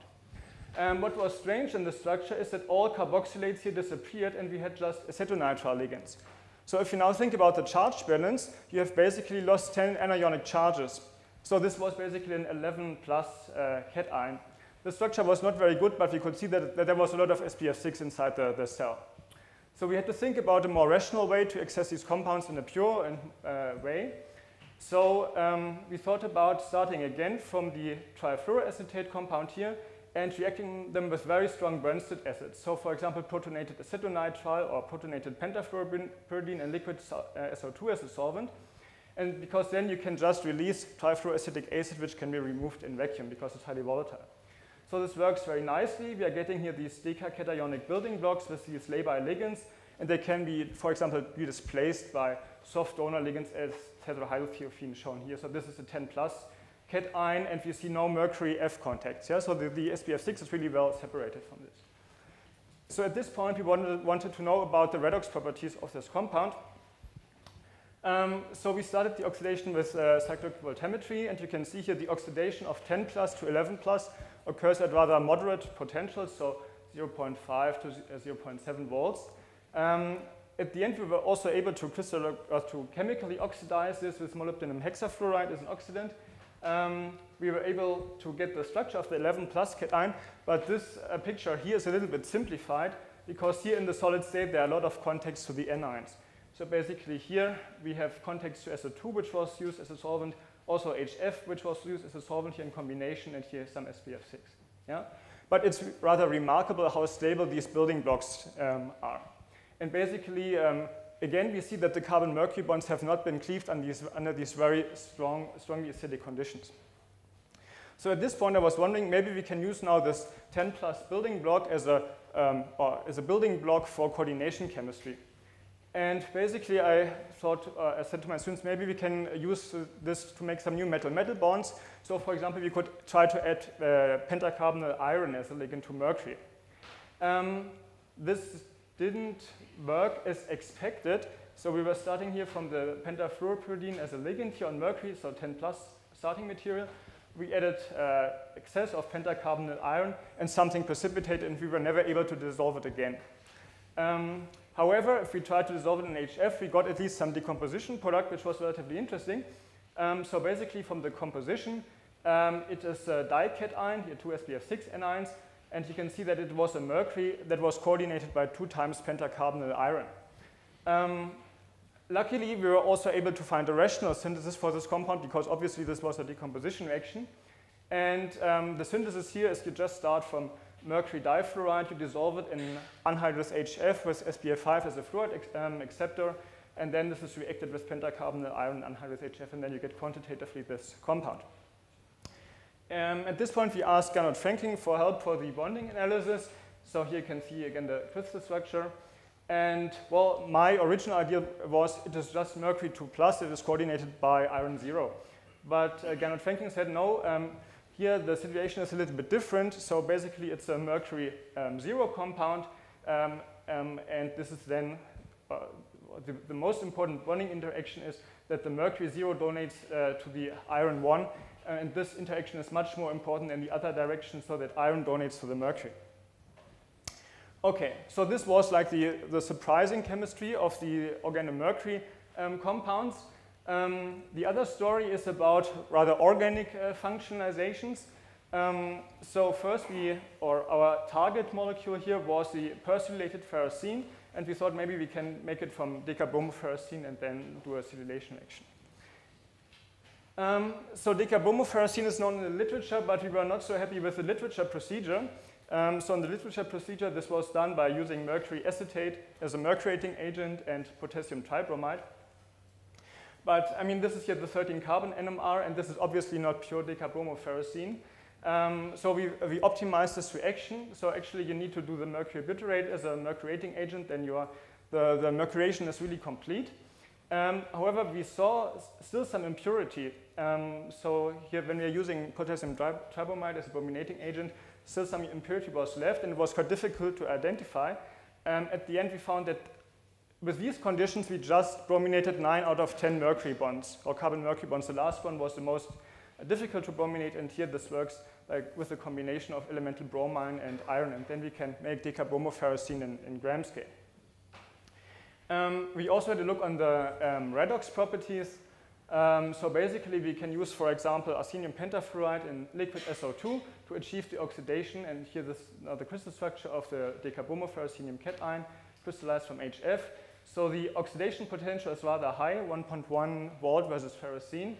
Um, the reaction below just shows how we identify basically the impurity. So basically, we had still here one carbon-mercury bond left, and this was also not cleaved by these very extreme uh, Lewis acids and fluorinating conditions.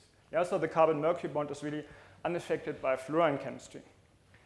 Um, so then we took the decabromoferrocene um, and our idea was we will just add a large amount of tert-butyllithium.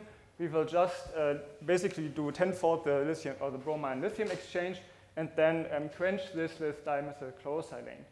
Um, basically, this works, but uh, we are getting a horrible uh, mixture of compounds because also we have to do this reaction several times. So uh, lithiation, silylation, lithiation, silylation. And then we need to separate everything via HPLC. So we were able to get a large bunch of uh, highly silylated ferrocene, but also at the end, maybe 10 or 15 milligrams of this compound here. Um, the crystal structure shows that this molecule is really sterically overcrowded, so the silicon atoms are moving out of the CP plane. And um, some really interesting effect is if you're looking on the colors of these compounds. So basically, uh, normally ferrocene is orange-yellow, and you can see here for these highly silylated uh, ferrocenes with 9 or 10 uh, silyl groups, now the ferrocene gets pink. And we also did the UV vis spectroscopy, and you can see here that basically um, the, um, um, all the uh, peaks are shifted now to higher wavelengths, so basically we have lower energies. So basically in the highly, uh, or in the persilylated ferrocene, now the HOMO gap is significantly decreased in energy. Um, I mean, this reaction now is not very practical because um, you need the HPLC to, to separate all the, the, the, compounds from each other. However, we found at least one good synthetic route to highly silylated ferrocenes. So basically from starting from dimethylferrocene, uh, mercurate eight times, then bromination, and then we have this compound, and then with the Grignard and dimethylchlorosilane, we can make this compound, I would say, in 60, 70% uh, yield. So maybe we can make a gram out of it in 10 milligram within one PhD thesis. Yeah? So this was really um, a significant uh, improvement now. Okay, so at the end, I want to uh, thank my uh, co-workers, especially uh, Dr. Susanne Rupp, who did most of the work. And I also want to thank the funding agencies, and I thank you for your kind attention.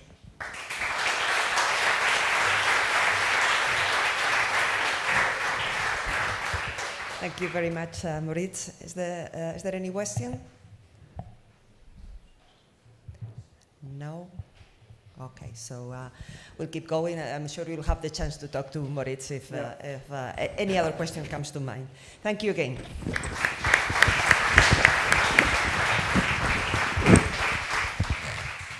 Our next speaker is uh, Gemma Dura. Uh, she's an assistant professor at the University of Castilla-La Mancha in Spain. And um, she will be talking about a new half sandwich iridium complex with a pi extended ligand as a potent photocatalyst in green conditions. I don't know how to do that.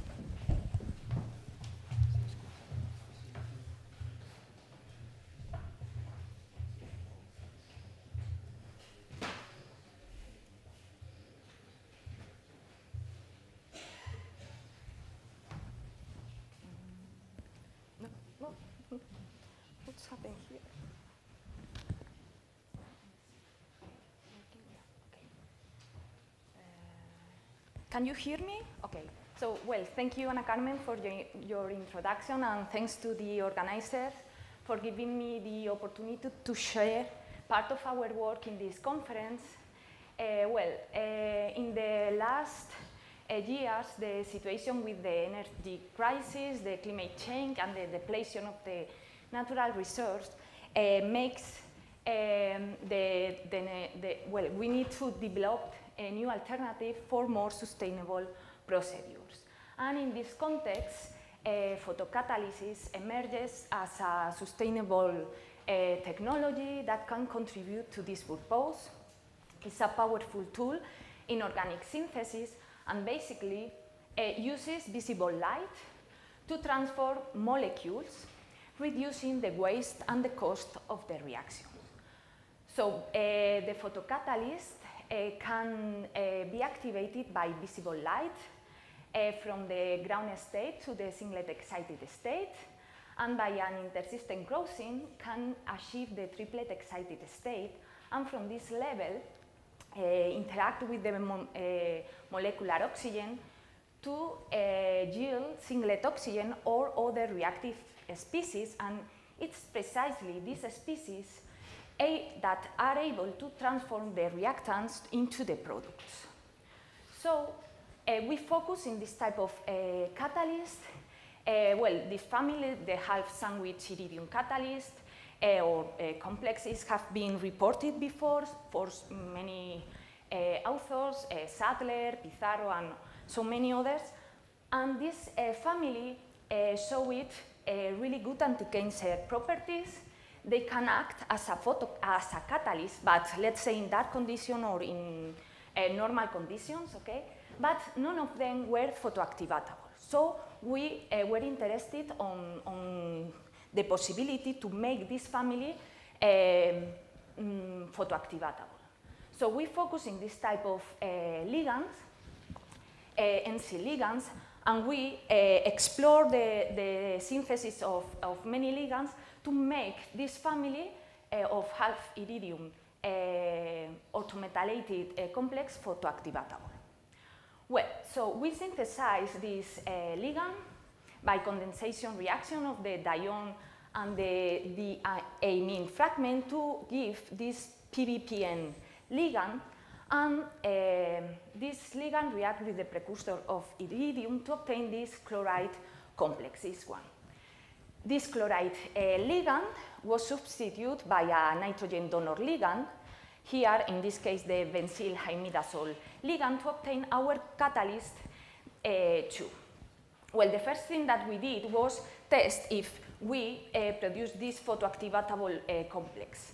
And we quantified the singlet oxygen generation using the DPBF probe that basically we mixture this probe with our catalyst, we irradiate with light, and we monitoring the reaction by uh, UV vis, and we observe a really fast decrement in the band corresponding with the proof. In seconds, we consume all the proof.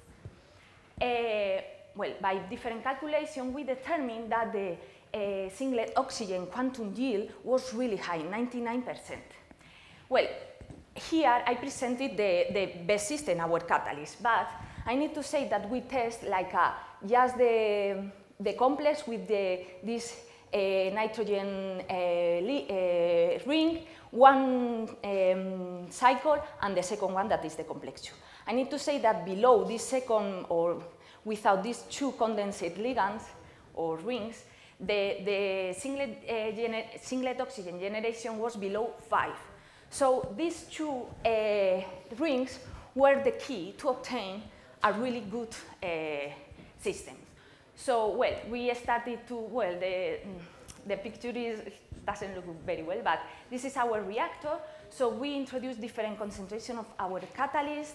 We work at room temperature. And the most important thing, we work in normal air. We don't increment the concentration of the oxygen in the reactor. And this reactor we introduce in our Medusa photoreactor that in the bottom of each reactor we have a LED light and we can control the wavelength of these LEDs so we can uh, work at different colors. Okay, so the first reaction that we tested was the coupling reaction of the benzylamine.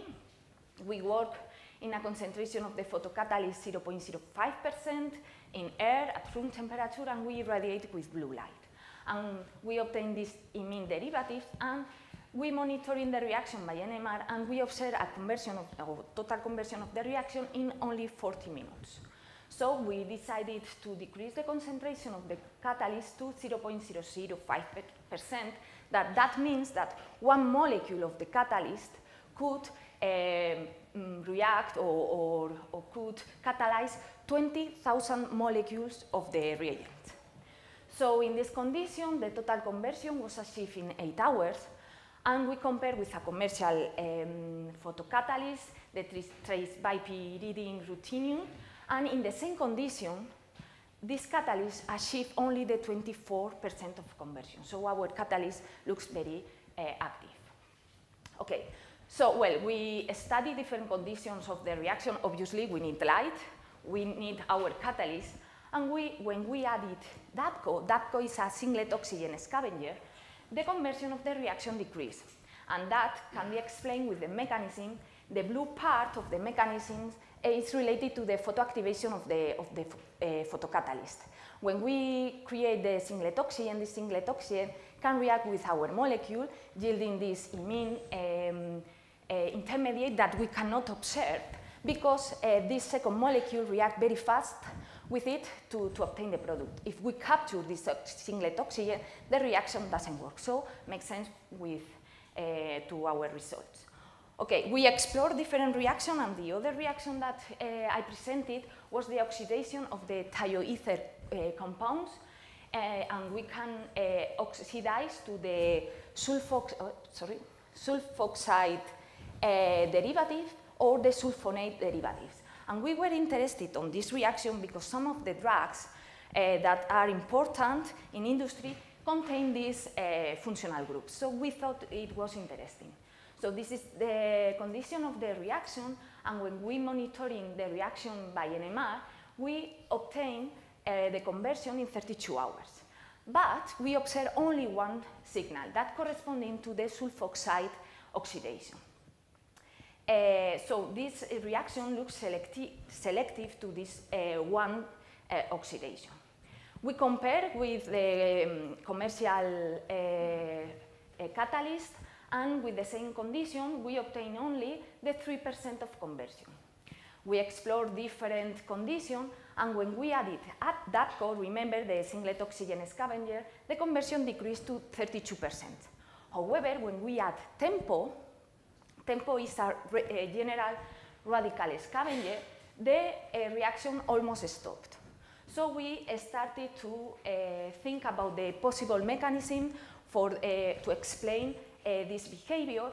Um, eh, well, the photosensitizer can activate the eh, oxygen, the molecular oxygen, by two pathways.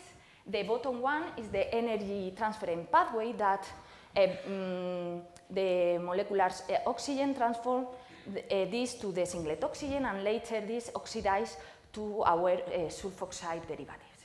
That is the one that we expected at the beginning. However, there is another possibility to activate the molecular oxygen by an electronic transference pathway. That basically uh, the, the, our product or our reagent uh, transfer an electron to the activated catalyst and this radical transfer another electron to the oxygen forming the superradical uh, the superoxide radical. And these radicals uh, react uh, very fast to obtain our molecule. So apparently in our system, this pathway is predominant. Well, we study different um, uh, products and just briefly, when we have the, the aliphatic sulfide, the reaction is very fast. In only three hours, we obtain the total conversion. However, when we have the aromatic uh, product, uh, the reaction is very slow. But in all cases, we just observe the sulfoxide derivatives. Uh, well, so after all these uh, examples, we said, okay, we have a really active system, but what else? So we started to study the recyclability of our system with other reaction, oxidation reaction, uh, using this dihydroxynaphthalene to obtain, to obtain the Juglone and in one hour we have the, in this condition, we have the total conversion. So we repeat this re reaction several, several times. And we observed that the conversion was almost the same even after nine cycles. So our system is very robust.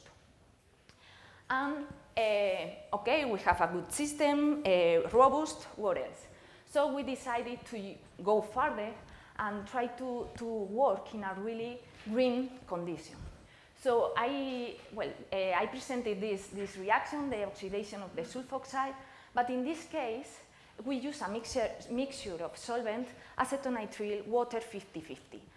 We couldn't go further because uh, the, the uh, the, the reagent, wasn't uh, soluble, soluble in higher content of water, but with other uh, systems we can go to a higher content of water. And we use sunlight. Our reactor, instead of uh, using the Medusa photoreactor, we put in, our, in the window of the lab and we live there, so we don't use any electric uh, source. And we monitoring the reaction uh, by NMR. And we observe that the reaction works and uh, the conversion was obtained in 36 hours. Comparing with the photomedusa reactor that the, the conversion uh, was achieved in 32 hours is quite similar. So we could use our system in a green conditions. So just to finish and conclude, we synthesize this uh, type of complexes, iridium complexes, with a pi extended ligand, and that two rings was crucial to photoactivate the complex. Uh, so with a really high efficiency in singlet oxygen quantum yield, so with excellent photocatalytic behavior and selectivity, we could reduce the system several times. And the most important thing, we uh, use uh, really sustainable conditions, normal air, room temperature, sunlight, water solvent, a really low uh, photocatalyst content. So just to finish, I would like to thank to my research group, Química de la Coordinación Aplicada de la Universidad de Castilla-La Mancha, especially to my students, Carlos Gonzalo and Fernando Manzano, our collaborators, the institution for the funding, and thank you for your kind attention.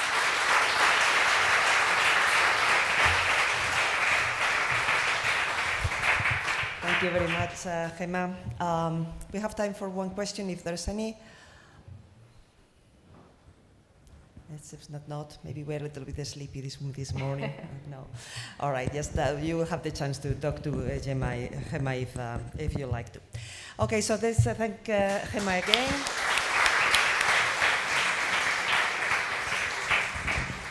And let's move to the, our last speaker this uh, morning.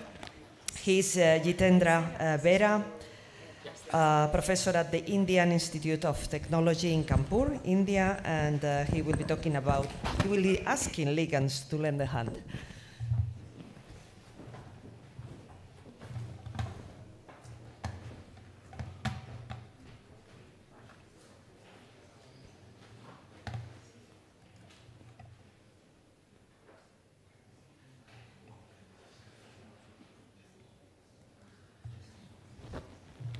Well, thank you for the introduction.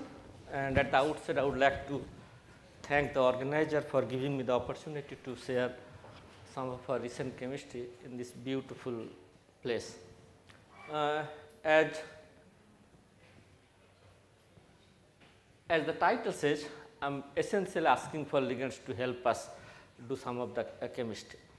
And not in a conscious manner, but that has been uh, our activity uh, for the last couple of years. So, I thought I will integrate and try to give you idea uh, that what we are doing.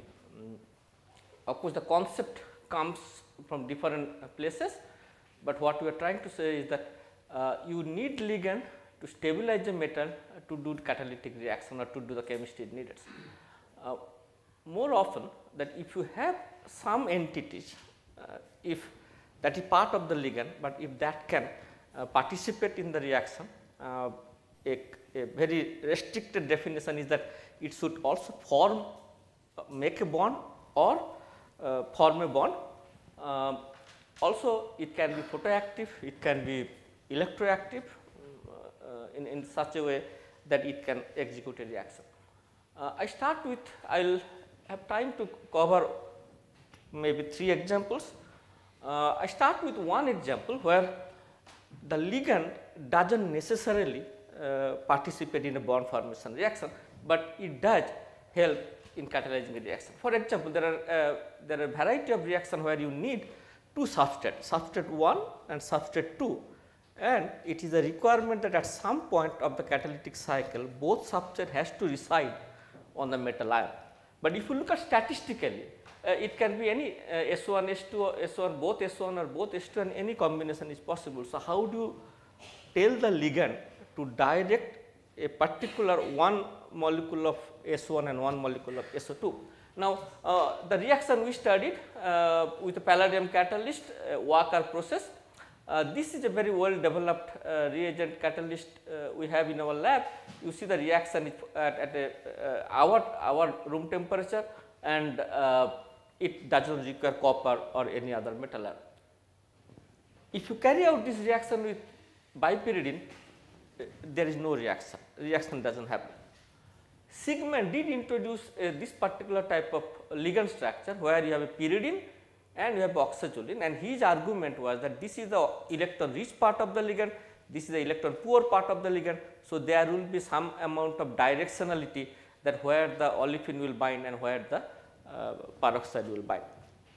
We thought that is that may not be the very adequate description. We have a ligand, you see this is essentially a abnormal carbene ligand this is the pyridine unit and this is the abnormal carbene unit, you can probably have a describe it as a phenanthroline abnormal carbene form of phenanthroline. Now, if you look at it here, the way we describe it that this carbon is purely sigma donor and this nitrogen, uh, this pyridine unit can act as a pi donor and a pi acceptor. And we argued that this olefin uh, interacts trans to this pyridine because there is a as I will show you you can see that there is a pi corridor and then you have a sigma corridor with the peroxide and of course you, you can have the match or the mismatch uh, option. What this ligand does it essentially brings these two reagent in a particular uh, fashion. Well, one can study this reaction uh, carefully and, and this, uh, this uh, mechanism as you can see uh, that very well established uh, uh, followed by ring expansion and the 1 to hydride shift giving you the product. these are the thermodynamic parameters that we calculated that we measured from the reaction. It was important to do to understand how the ligands are acting and this is the rate determining state. If you do calculation, you see that the blue line and that is the matching one that what we predicted that the the peroxide will bind trans to the sigma carbene uh, uh, this carbon and the olefin will bind trans to the pyridine. And you can see that this is the uh, the match option is the stable than the mismatch uh, option. And if you just follow up the whole reaction you will also see that the rate determining step is actually if you follow this particular uh, the sigma sigma pi pi form.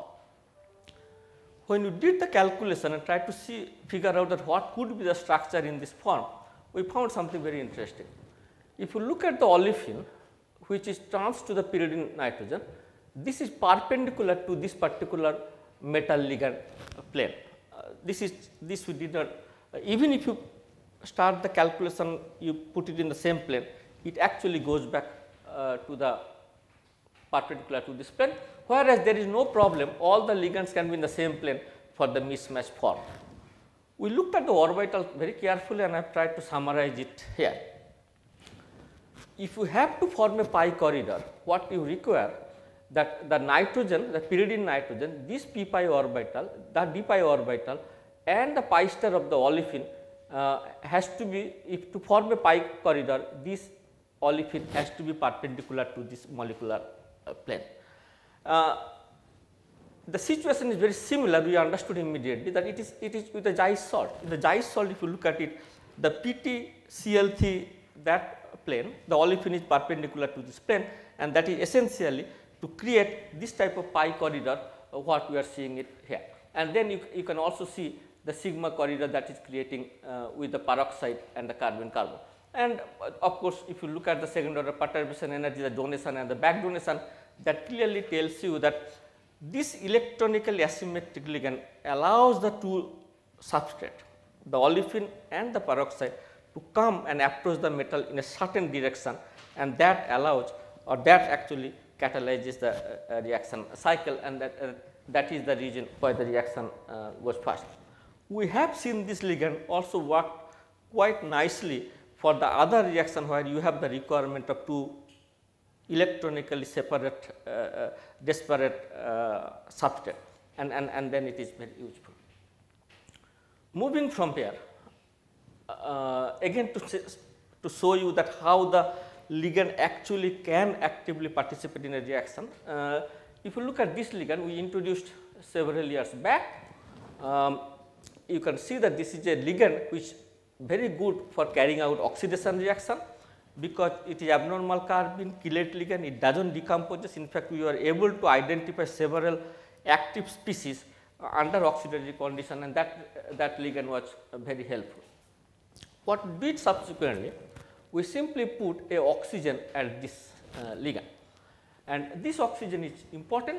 What it makes it immediately we call it as a proton res responsive ligand. Now, this oxygen can take up proton from a source and then what does happen uh, to make the story long story short then what becomes important that uh, if any reaction that deals with the proton and the hydride it becomes very easy to ma uh, manage the, or the, in the management of the proton and hydride delivery.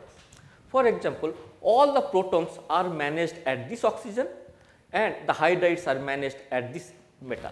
So, looking at the metal ligand or employing the metal ligand cooperative action, you can actually uh, uh, uh, transport proton and hydride in this particular uh, particular metal complex. Just to give you a uh, little uh, description here, see this is the this is the compound that we isolate. You see there is a lactam form. You have lost resonance energy, but you have gained or you have compensated that resonance energy by this metal ligand stronger interaction. If you put a proton, you can monitor by NMR that proton is directly going uh, to this oxygen and, and you have interconversion with the lactam and the lactim species. So, the you can do this proton manipulation at the ligand and you can go back and back and forth. It is important to figure out what is the pK of this oxygen and for some reason that value is not coming appearing here. We figure out we measure that the pK of this is 3 point I believe 73 what why it is that pK measurement is important then you know that from which substrate you can actually abstract the proton and which substrate accept the proton. Just to give you an example, this reaction we studied a very simple reaction uh, essentially uh, uh, you, you make a imine and you do the hydrogenation imine hydrogenation. But to understand because it is a protic catalyst we carried out the reaction in three different uh, conditions. Uh, one is in the neutral condition, another is in highly basic condition and another is slightly acidic condition triethylamine formic acid reaction. Both gives the product, but as you can see the reaction is more effective when the formic acid trial uh, uh, amine is reagent and this is very selective. If you, you can see it here, even if you have a carbonyl and the imine, uh, only the imine gets hydrogenated and the carbonyl uh, remains almost almost intact. It, it is because of the mechanism. Now, I am going to show you something very clumsy and, and lot of information, but you do not need to pay uh, full attention here. Just to give you this part that when you change the condition, same reaction actually three different mechanisms are operating here. For neutral condition, you have this heterolytic cleavage of hydrogen and subsequently deliver of hydride and deliver of proton from the metal ligand uh, to the substrate.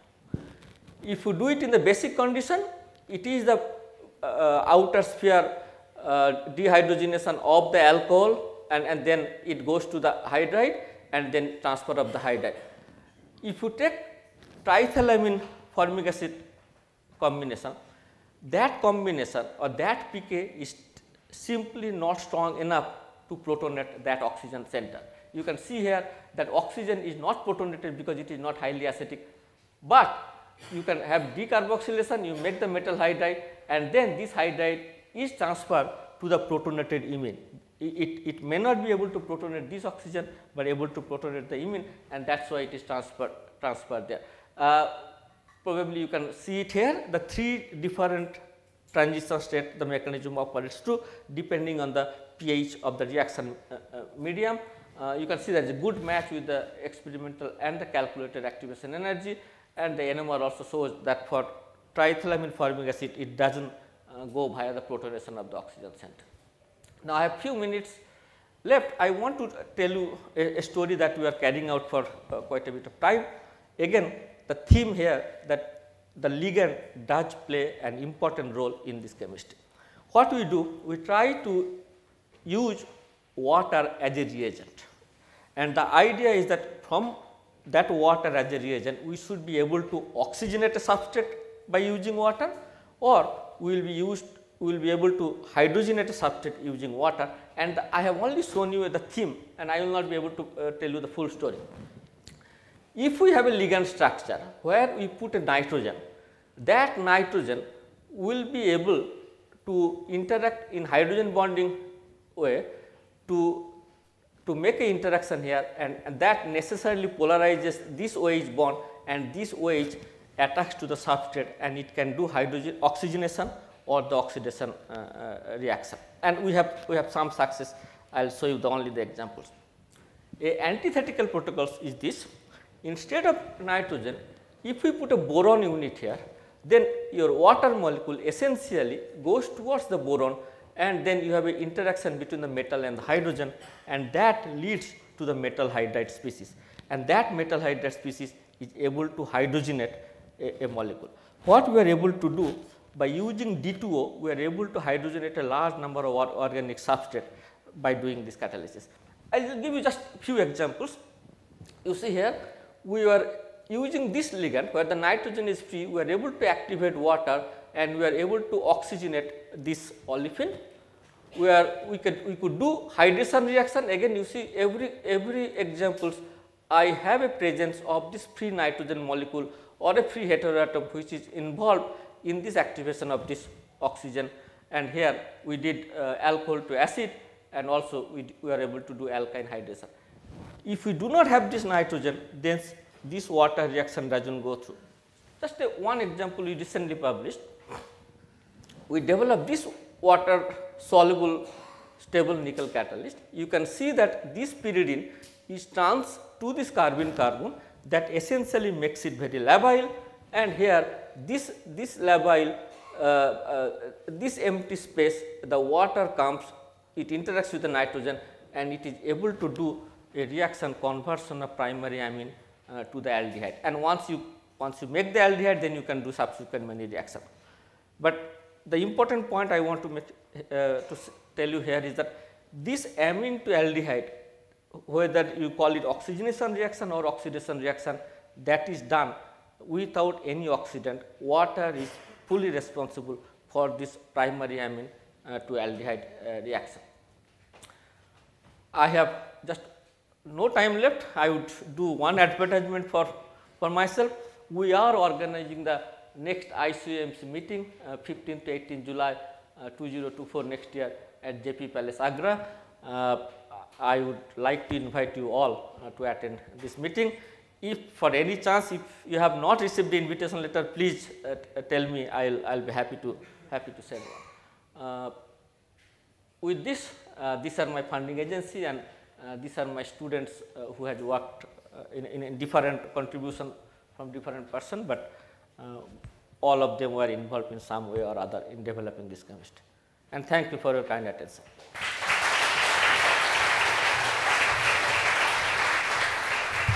Thank you very much. Um, we have time maybe for a short question. Are, is there any? Yep. Wait, wait, wait. Wait. Uh, wait, wait. because they cannot hear you. Yeah, you're forming ammonia here. Yes. So how are you doing that?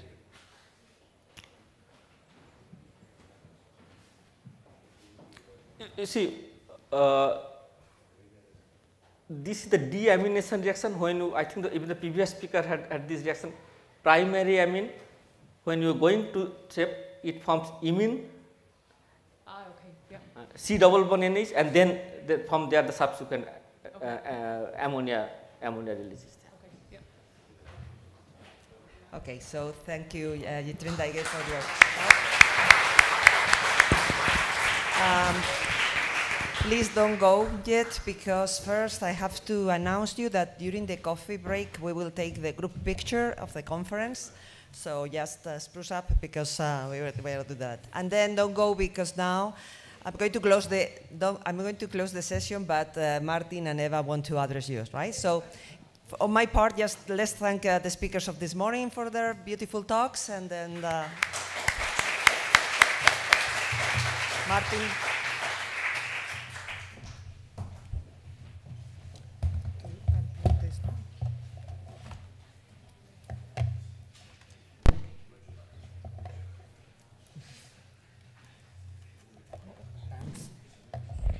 This on? Yeah. Thanks, guys, for staying. This is just a, as we are in the announcement of events, and we started announcing already yesterday. This one here.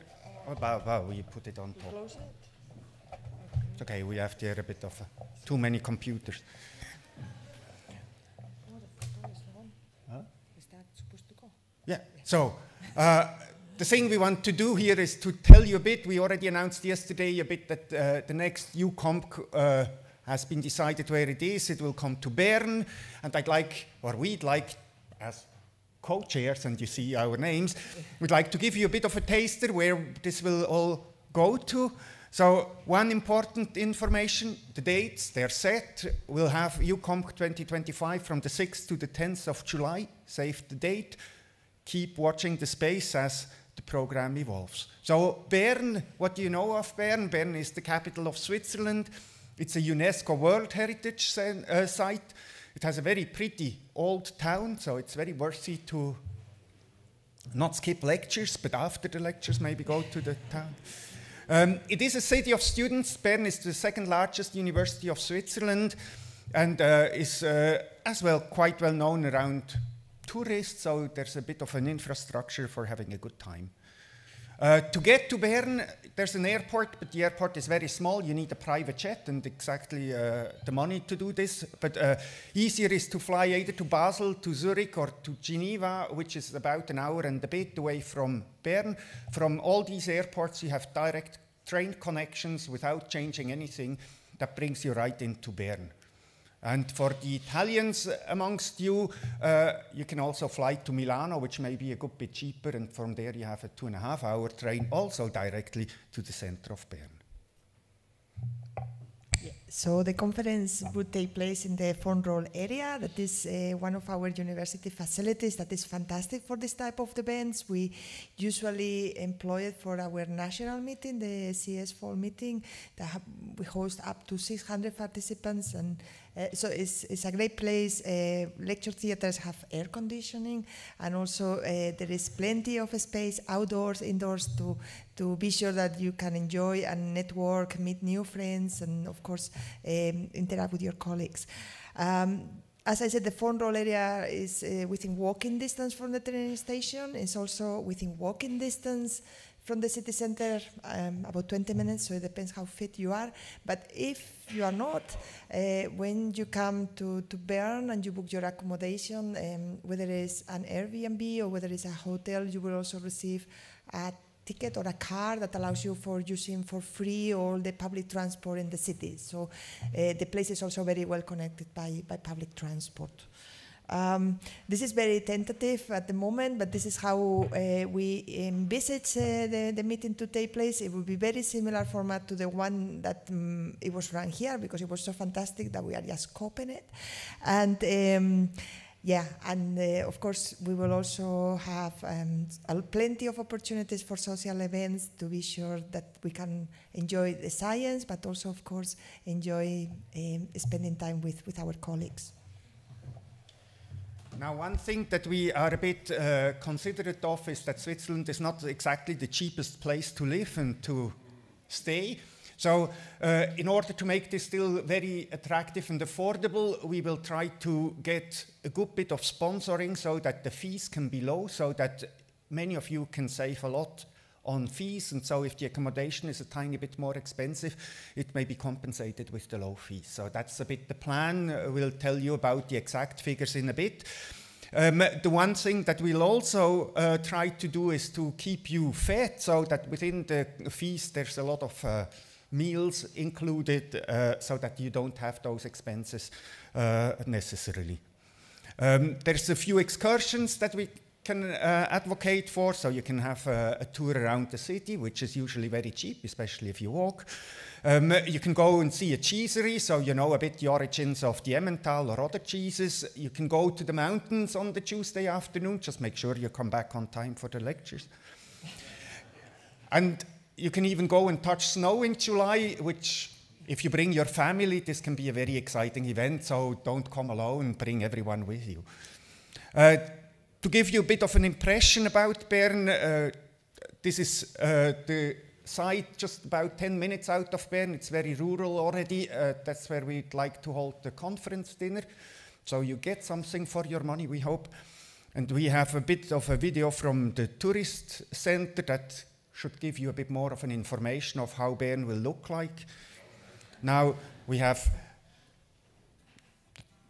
there's no sound, but that doesn't matter. So you get a bit of the political center, so you can see how you will be welcomed, maybe. ah, there is. Summertime in town.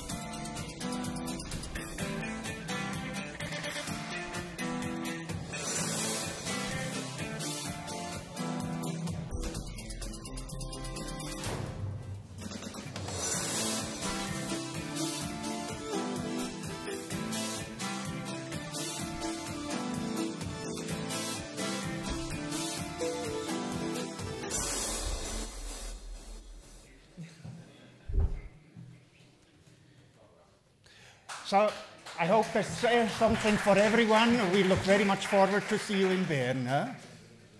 So see how you, well, that's the coffee break, no? That's the coffee. No, no, no, wait a Oh, minute, no, wait no, a ah, minute. no, no, no, There okay, is.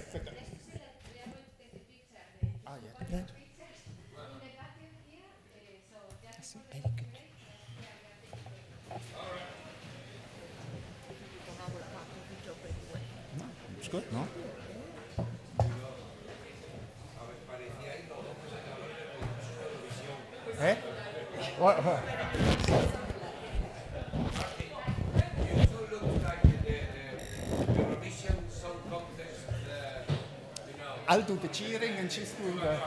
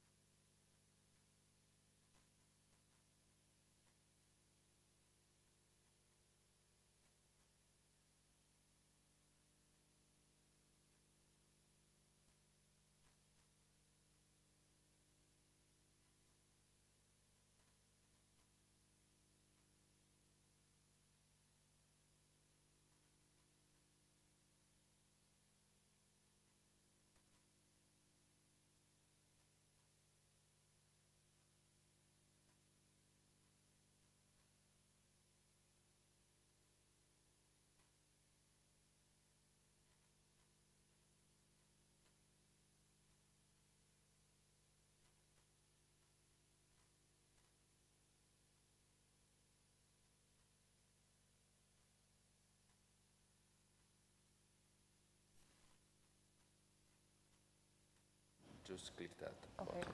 Yeah. Okay. Okay, that's easy.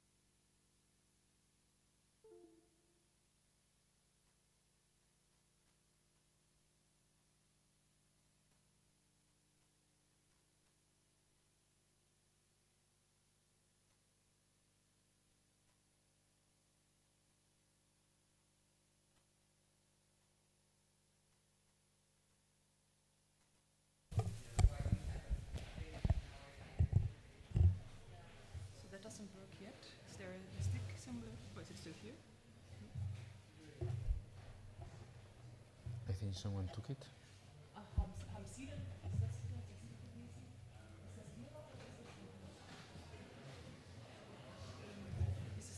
No. This is one. Isn't it this one?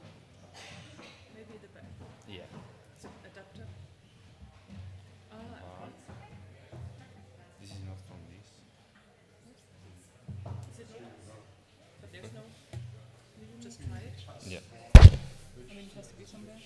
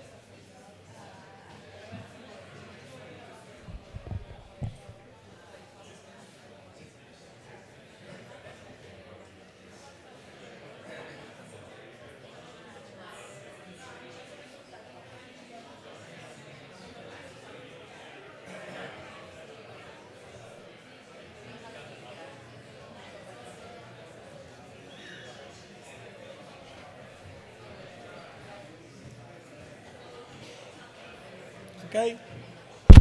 Okay. Please, um, can you all be seated and uh, we can get started with the uh, last session of this conference. I'm, I'm really pleased to have been asked to chair this, this last session, which is the climax of the conference. This will lead to the presentation of the Fischer Wilkinson Prize, uh, as you uh, all have seen in the program. And I'm particularly pleased because um, I can tell you uh, just a bit of note of personal thing that I've been in fact associated myself with both Wilkinson and uh, less directly E.O. Fischer.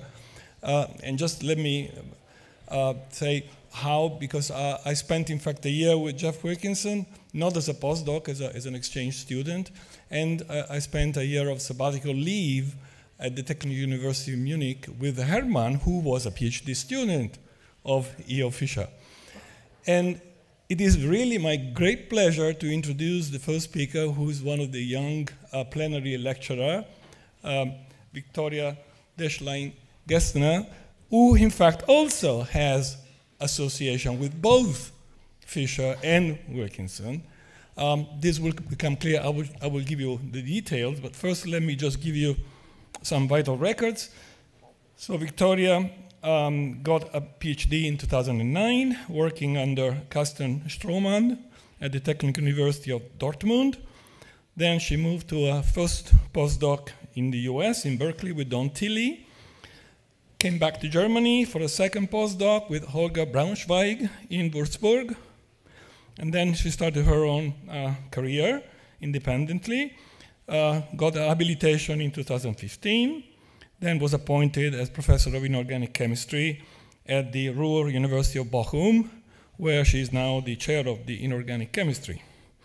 So the details, in fact, uh, Viktoria, uh, the, the, PhD advisor, um, Carsten Strohmann, uh, had been a postdoc for Dietmar Seyferth, who was himself a postdoc for E.O. Fischer.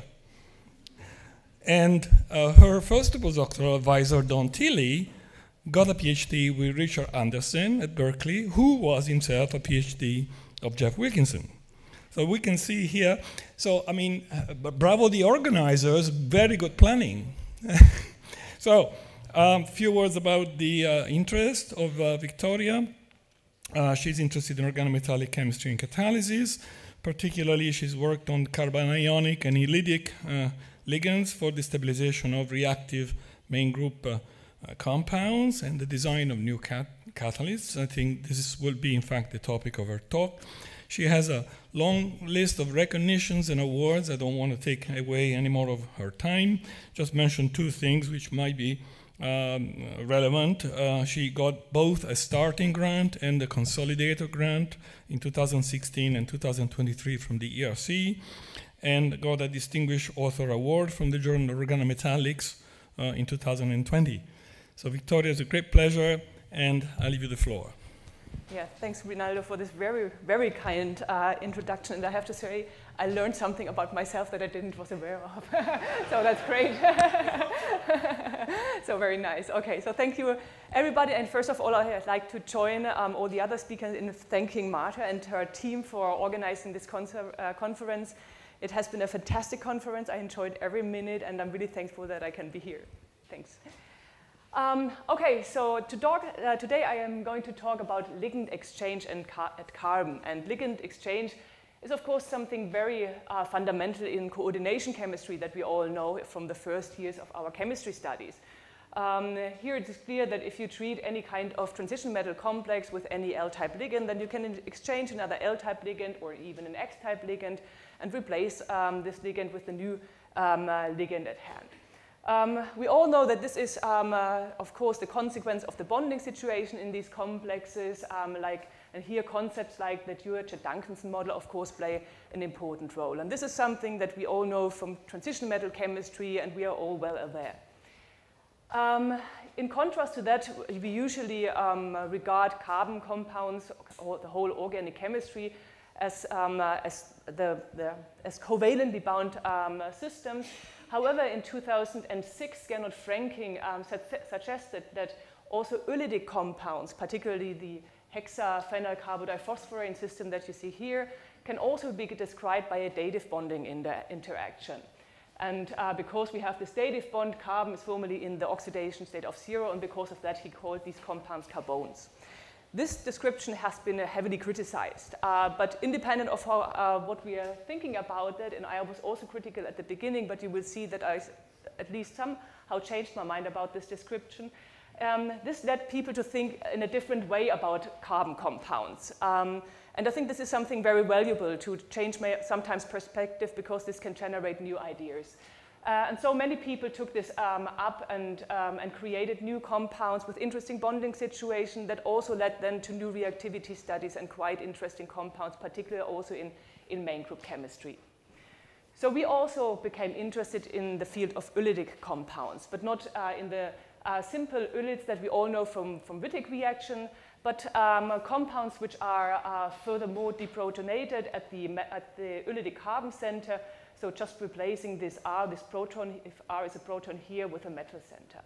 And uh, the reason why we became interested in these uh, metallated ylids was, um, uh, yeah, was a motivation from main group chemistry because since we have here um, uh, formally two lone pairs at carbon, one of a sigma, one of pi symmetry, we, we, uh, we, um, we assume that this should be excellent sigma and pi donor ligands, similar to amino substituents, which are ubiquitous in main group chemistry and often used uh, to stabilize low valent, um, low valent compounds such as carbenes. Yeah?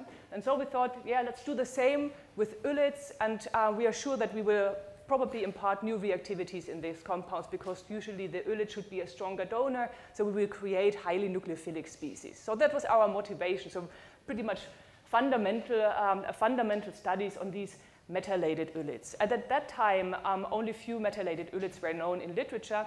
Um, in fact, only these two systems are reported by Guy Bertrand and Edgar Niecke were also structurally authenticated. But these are rather specialized, I would say rather specialized systems which had only been um, synthesized in milligram scale, so nothing that you really would like to use um, uh, to, to, to, broadly explore the reactivity. But it has been shown before that ylids indeed have potential to create something, um, something interesting in main group chemistry, in, impart new reactivities, um, uh, such as in, uh, uh, in tetrylene chemistry. This was shown by Driess, Kawashima, and Fürstner in case of carbenes and silylenes. So motivated by all these um, uh, um, reports um, uh, in, uh, in the past, we set out to isolate metallated ylids. And that, was the, the beginning of a, of a yeah, now seven, eight year um, long story, which really involved into many research directions. Um, as, really, um, uh, as really planned, we also, uh, of course, used the metallated ylids in main group chemistry to stabilize low valent and also cationic compounds. In the past years, we really could show that you can create interesting species with interesting bonding situations and therefore also, of course, um, interesting reactivities. But I'm not going to talk about that today, and I will also not talk about that um, more or less serendipitously, we came across that um, ylids are also powerful substituents in phosphine chemistry because if you, if you attach an ylid to a phosphine, you significantly can increase the donor strength in a phosphine, and these, we call them YPhos ligands, are superb ligands in gold and palladium chemistry and um, with that, we have done um, in the past couple of years uh, many coupling reactions, hydroaminations in, ca in case of gold. So in, if you're interested in this, we have also yeah, summarized um, our results in a recent um, research uh, review article. Today, I will only focus on one part of our research, namely how we come from metallated ylids to create novel reagents. And here, the ligand exchange reactions, of which I, I was talking about before, plays a vital role. Okay, but let's start with how we synthesize these metallated ylids. And um, this always looks pretty simple on paper, but it took quite a bit of time to really, um, to really um, optimize reaction conditions in the first, uh, for my first PhD student who was working on that project. But essentially, it's just a simple double deprotonation step. So you start, like in this case of this tosyl substituted compound, you start from a phosphonium salt and deprotonate once and twice, and then you get to this um, metallated ylid, and depending on the base that you're using in the last step, you can get the lithium, the sodium, and, and also the potassium compound.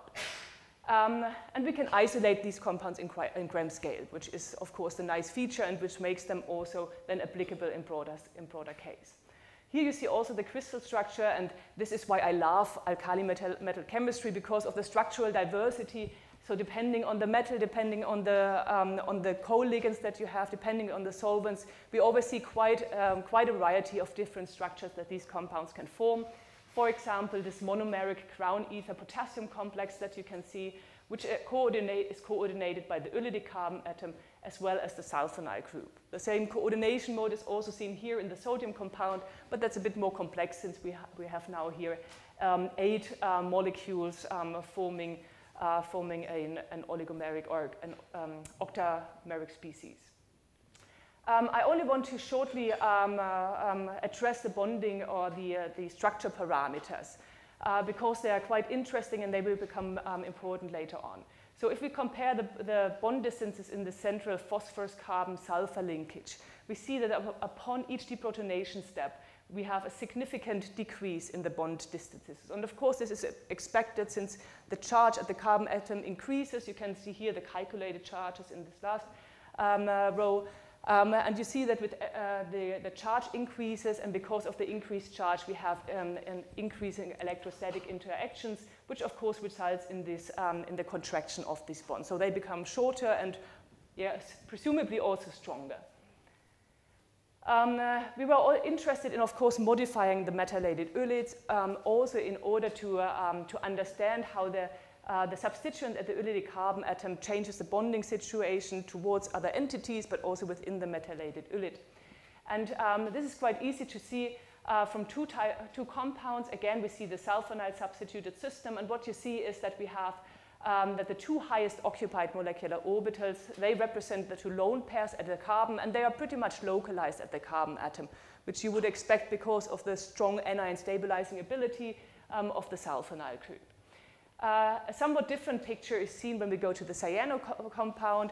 The cyano compound, of course, is much more um, um, able to delocalize the negative charge via conjugation, and therefore you see that the two highest molecular orbitals are not as much localized, but much more delocalized into, towards the, the end of the cy um, cyano moiety.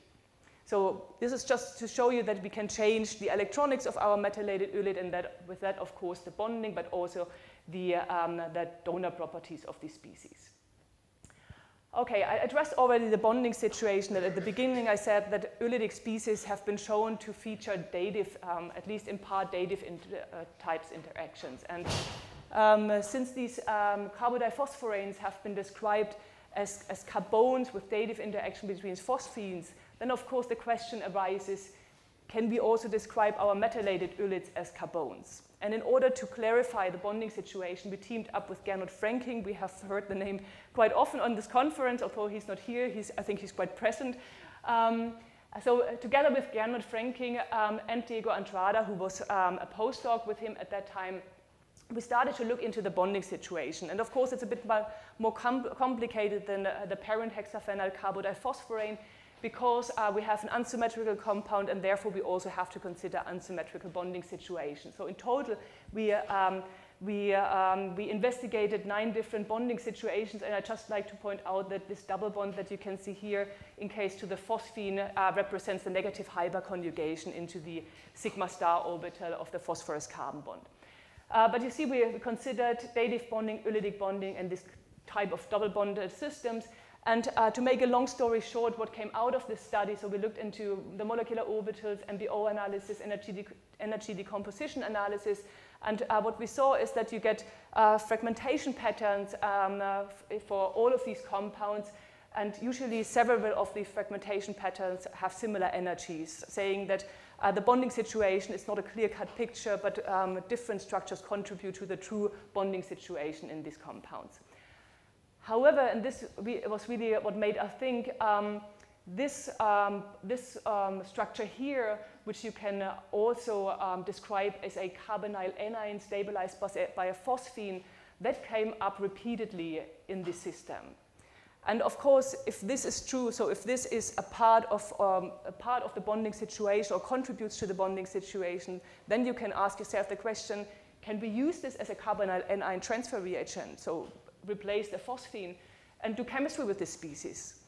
And uh, we have tried that for many years. Um, and of course, the, the, the, ligand with which you would replace the phosphine, if you uh, again go back to transition metal coordination chemistry, so the best ligand would probably be a carbonyl, uh, carbon monoxide. I mean, in transition metal chemistry, we often see phosphine CO replacement and vice versa. So we wondered, can we replace the phosphine by CO to, to, um, to access these ketenyl anions? And of course, this would be very interesting compounds to isolate because um, since they are highly nucleophilic, you can treat them with any electrophile and probably get access, easy access to, um, to ketenes. I should, of course, uh, ketenes are known species. There have been many reports on different synthetic pathways to ketenes, uh, but all of them have their limitations. And if you just think of how we usually introduce a phenyl group or a methyl group, then of course we like to use um, uh, organo, so phenyl lithium, methyl lithium, or the Grignard reagents. And of course the same holds true for this ketenyl anion. If we would have a spe species like this, this would facilitate the formation of ketene species. At this point, I also like to mention, because I'm a big fan of main group chemistry, there has been um, fantastic um, chemistry with the S and the P block elements with carbon monoxide. So you see here a couple of structures and, and people who have, um, as I said before, done fantastic work with carbon monoxide. We have seen a couple of examples um, during, this, um, during this conference. But the problem often when doing chemistry, um, activation chemistry with main group elements is that you create new structures with unusual bonding situations, but it's often difficult to release the, uh, the activated compound or to create any reagent, versatile reagent out of that. So being able of generating something, um, something valuable out of that would of course very highly desirable. So ketenyl anions in general are or have been elusive species. There has been one report um, of a structure elucidation of a ketenyl anion in the coordination sphere of a transition metal that dates back to 1993 by Grombotta, but since then no structure report has been, um, uh, yeah, has been reported in literature. Um, they have also not really been isolated, um, but um, only uh, been synthesized in situ, uh, for example, by carbonylation of lithiated diazomethanes, but then always trapped at low temperature. Closest to isolating a ketenyl anion species came Doug Stephan in, uh, in 2021, um, who started from a methanediide species and um, uh, yeah, via a quite unusual carbonylation and oxidation reaction, um, he uh, isolated this, um, this benzene derivative um, and, and um, yeah, proposed this, this ynolate species as intermediate. So we thought, okay, maybe we are really, we have the possibility to really use our, our metallated ylides as carbonyl anion transfer reagent and thus access ketenyl anions, maybe also in gram scale and do organic chemistry essentially that, use it in organic synthesis.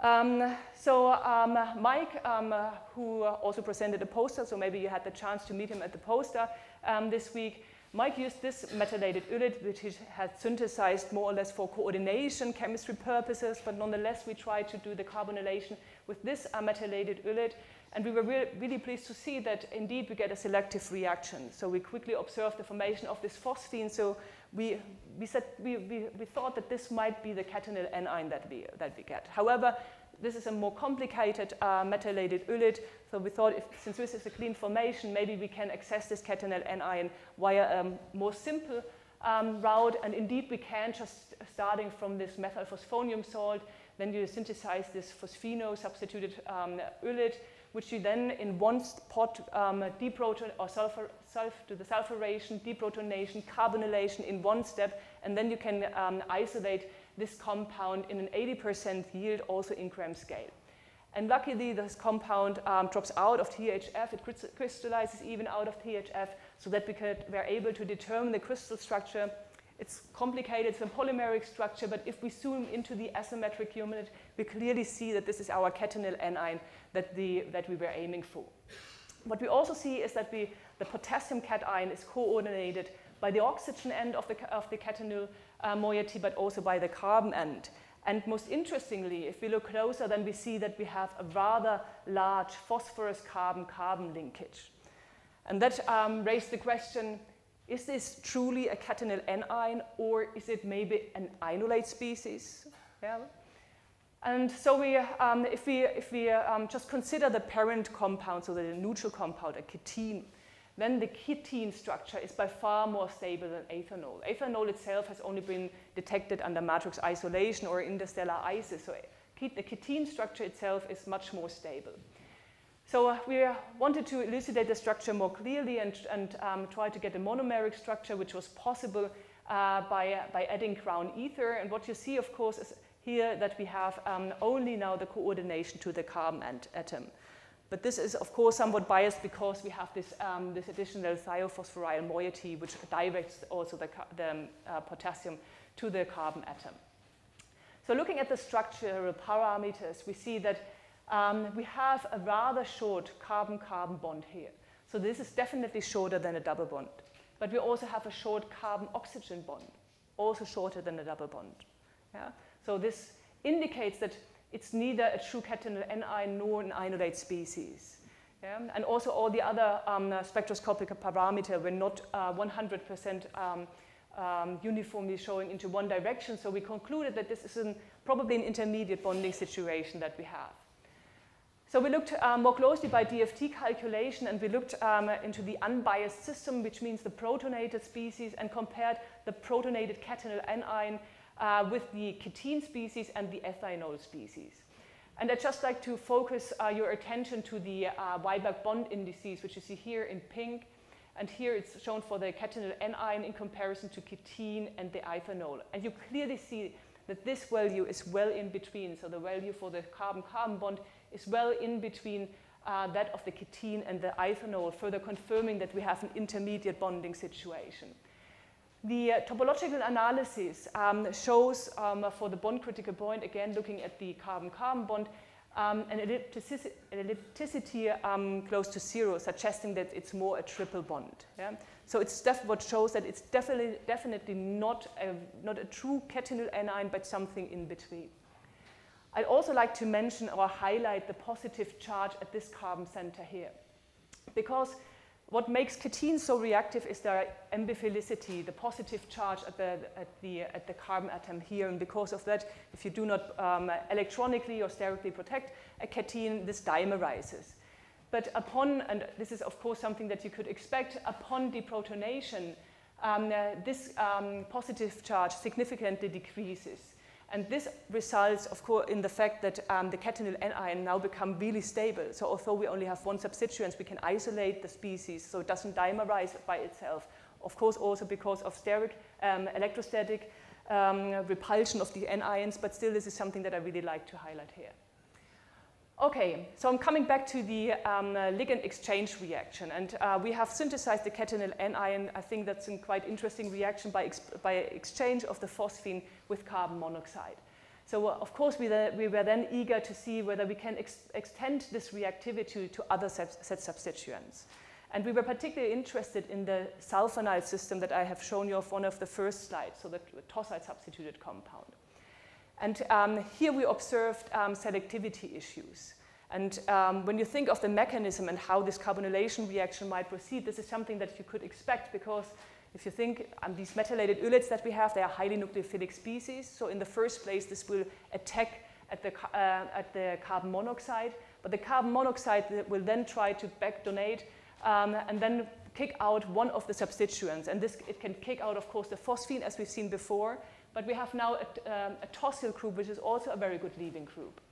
So depending on which substituent the, you release from the molecule, you either form the ketenyl anion that we, of course, desire to have, or you're releasing the corresponding metal salt together with the phosphorinolidine ketene, which are also interesting compounds, but of course not re no reagents that you can use on further. So we wanted to understand the selectivity uh, more in detail, and particularly how we could control the selectivity. And um, uh, and Felix um, did a uh, yeah, nice systematic study on, on different parameters. And at first he looked into the influence of the nature of the phosphine. And if you look here into the table, so the A, 1A molecule is the one with tricyclohexyl uh, substituted phosphine. And you see here that we get selectivity almost exclusively for the tosyl um, elimination. So we get to, uh, to the um, uh, ketene. If we, however, go to the, uh, to, to the phenyl, triphenyl uh, phosphonium group, so a beta leaving group if you want so, And then we have a, see a switch in selectivity, and now we get um, selectivity, not perfect selectivity, but we see selectivity now for the ketenyl anion. We don't understand um, why, if we introduce a fluorinated substituent, uh, which we expected to be an even better uh, leaving group, we, we see a drop in selectivity. We don't understand this. But um, upon further studying, we noticed that besides looking into the phosphines, also the alkali metal has a decisive impact um, on the selectivity. So if we go from lithium here with the 80 to 20 selectivities to sodium and potassium, we see an increase towards the selectivity for the ketenyl anion to a 90 to 10 mixture. And if we, um, uh, if we change to polar solvents and add crown ethers, um, uh, we finally get to, uh, to the point where we get 100% selectivity to the, for the ketenyl anion. And the reason why we see this trend, um, at least we assume this, that uh, the reason for this is that we have to uh, make sure that the, uh, that the potassium cation does not strongly bind to the, to the tosyl leaving group. So if we, if we manage that um, this interaction between the tosyl group and the metal is weakened by the solvent, so that's why we are using a polar solvent, or um, we even use a crown ether to really rip off the, the, uh, um, the, the metal center, then we get selectivity for the ketenyl anion. So we can control this um, ligand exchange reaction, which is very nice to see. And if we apply the optimized conditions, then we can indeed isolate uh, the tosyl substituted ketenyl anion in a 92% yield as a clean, um, as a clean product. We could also crystallize this compound, and this time with an, uh, with an cryptand, and this allowed us to crystallize the, the naked ketenyl anion without any contact to the metal center, which I think is, is an interesting molecule because, because now um, the bonding situation is not disturbed by any metal, metal um, ligand interaction. And interestingly, what you see here is that we see a rather large um, sulfur carbon carbon angle, almost 180 degrees, which makes you, of course, assume okay, that's now an ynolate species. Yeah? So we looked into that in detail and uh, compared it um, to our the first compound that we published and compared it as well to a, a report by Leo, um, who shortly after our first report reported on a similar system, um, but having now an interaction between potassium and oxygen, while we had the potassium bi- binding to carbon. Now we had a system where we don't have any interaction at all. So we thought that this is a nice um, uh, comparison. And I, I, know this is a, a, busy slide, but I'd just like to highlight um, that the most, um, there's no real systematics in these, in these bonding that we see from the crystal structures. At least we couldn't figure out any real systematics. And the, uh, the most difference you see really in this um, sulfur carbon or phosphorus carbon carbon angle. And uh, this large value that we have here, this is really, um, yeah, um, yeah, that, that really doesn't really fit in, in the trend at all. And it's even surprising because if we then look at the, at the Wiberg bond indices, we see that they are almost the same for all these, type, all these compounds, which was something that I didn't expect in the first place. However, when we run the optimization of the molecule, we saw that the, independent of the functional or the basis set that we used, these, this structure always optimized to a totally different angle. And um, if you run the scan of the spending energy, then you see that we ha have a really shallow energy surface, a bending from, let's say, 130 to 180 kilojoule per mole is, uh, to 180 degree is within a, a 1 kcal per mole window. This means that even packing effect can nicely change or can easily change uh, the angle and thus um, have an impact um, on the structure of this molecule. So the angle itself doesn't say anything about, uh, that's the bottom, bottom line of the story, the, the angle doesn't tell anything about the real bonding situation of these molecules because it's easily influenced by, by um, other factors. And similar effects we saw in a recent studies um, where, we, uh, where we again focus on the phosphoryl substituted system but now change sulfur by oxygen, selenium and also this N-tolyl substituent. Um, here the compounds most, uh, mostly um, um, showed um, angles between 140 and 150 degrees, um, there, and there isn't much of a difference in the bonding situation uh, depending on these substituents. Okay, now I'd like to come to uh, one of my favorite molecules. Uh, this is the cyano compound that I have also shown you of one of the former slides. Um, and um, of course, carbonylation is a very interesting reaction with this compound. And um, what, what comes out of this reaction is a sausage molecule. so we are forming a crystal structure where, where we have the potassium cation, again, complexed by crown ether or even krypton, so we have many structures. This uh, determines the lattice, and then in between we get the molecule, and you get what you expect, this five atomic anion, so the cy- cyano, uh, cyanoketenyl anion. It's, I think it's a, truly an interesting molecule, five atoms, one negative charge, but it's a it's a crystallographic nightmare because it can look like this or that, and it does that all the time in the structure, independent how you crystallize. So there's no way that we can really give any information about the bond lengths in this compound because it always crystallizes as it was and, um, and also independent of the structures that we are forming and because you can also not really distinguish between having nitrogen or oxygen on one or the other side. Oh, I'm getting a signal. But you did a long introduction, right? You did a long introduction. I think I still have a couple of minutes. I, I still have to come to the, to the, to the reactivity. okay, I'm making fast. So um, um, bottom line, we now get to this cyanoketenyl anion, and it's, I think it's interesting because cyanoketene is a, is a compound which is discussed by astrochemists um, um, being um, of importance for prebiotic chemistry because you can envision that, pro, that are treating that with water you get better amino acids and so on. And this is now a stable compound that we can actually isolate and do chemistry with, and I think that's really, really unique. And of course, the bonding situation, and I don't want to talk now about that because I don't have time, but it's still also very interesting for this type of compound. Okay, now um, at last I'd like to come to the reactivity, and this is of course what is of interest. So can we really use this ketenyl anion? And I said it's something, the bonding situation is between a ketenyl anion and an ynolate. So would it now react really as a ketenyl anion and, and give us um, ketenes as, um, as products? And yes, it does, and it does it with perfect selectivity and imperfect yield. So simple salt metathesis gives us these trityl compounds, also with a methoxy group, without seeing any orthomethylation reaction, for example.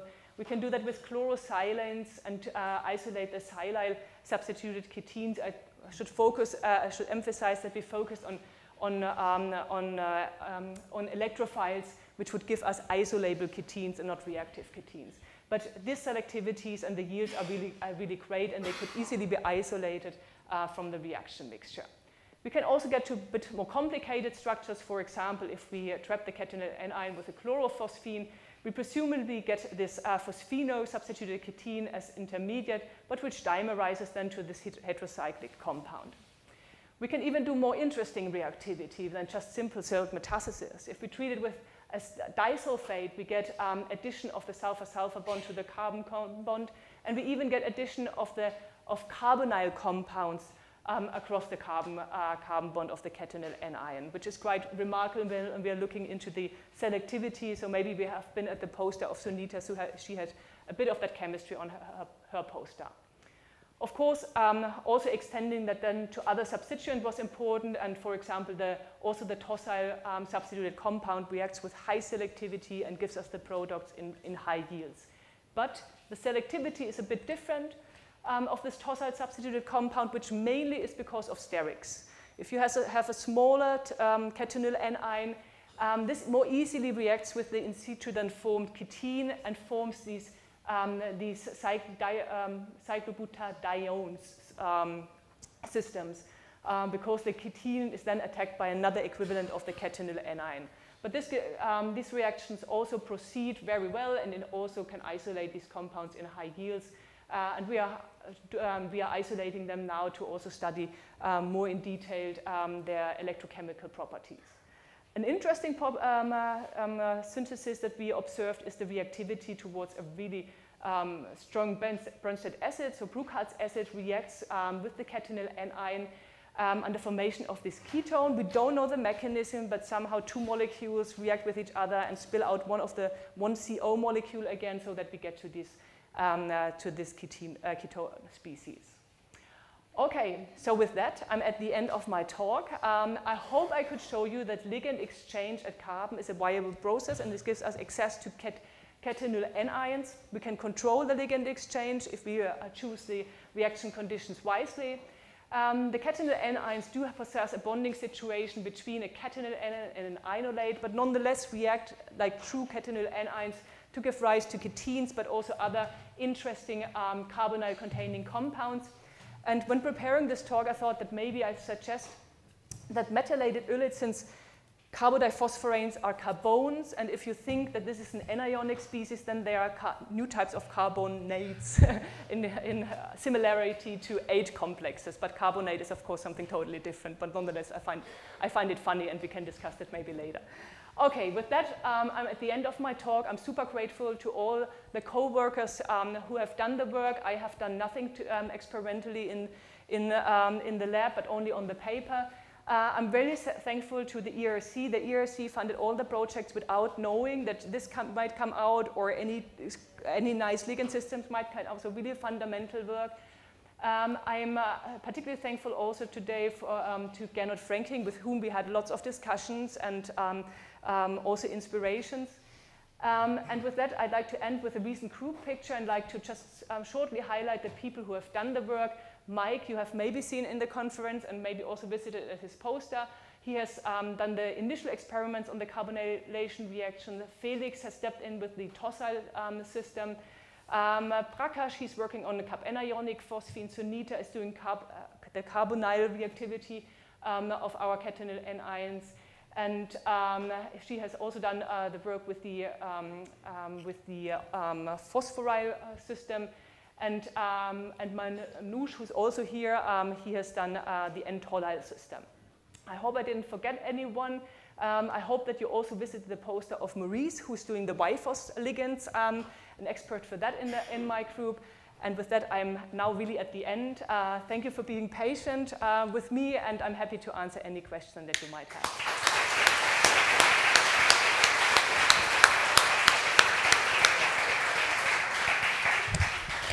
Thank you for really, really beautiful, outstanding work. And uh, you, you did start 10 minutes late, so we are now at 43. So uh, we ran out of time, but I cannot uh, uh avoid having uh, just a very short discussion. If there are questions in the audience, uh, there is one down there.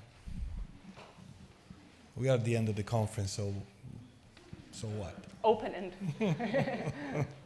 Thanks for the very interesting talk. Uh, I was wondering, uh, maybe I missed that. Did you see any difference in carbon NMR? And do you think that actually solid state carbon NMR would help you in understanding the bonding situation of that carbon in that position? Oh, that's you. a good suggestion. We only did in solution carbon NMR, so I can't tell if there's any difference to the solution NMR.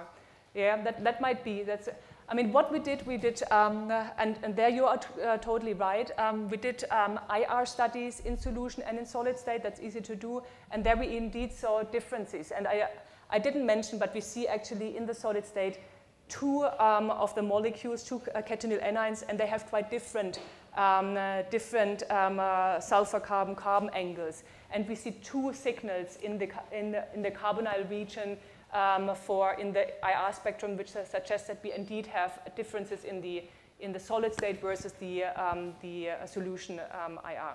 Uh, that's a good good question. Thank you. Okay, I don't see any more hands up, and uh, I, I, don't know if there are questions from the other uh, room. I, I don't even know how you find out if there are questions. so please join me in thanking Victoria for a really fantastic presentation.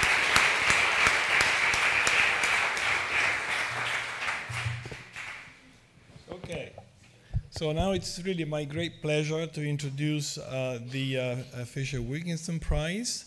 Um, and uh, um, I would like to just say a few words uh, about the prize because maybe then Martin Albrecht will give you some more details.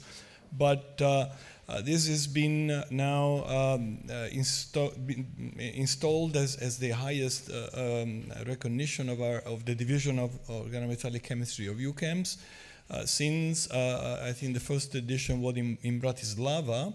And so the first prize was given to Malcolm Green, who was a former PhD student of Wilkinson. The uh, second, uh, not, not the second, the third one was given to Ernesto Carmona, who was a former postdoc of, of Wilkinson. Then uh, last, the last one was given to Pierre Braunstein, who was a postdoc for E.O. Fischer. And, and so now we have the pleasure that uh, we have Helmut Werner, who, who, was a PhD student of Helmut Fischer. That makes it perfectly symmetric.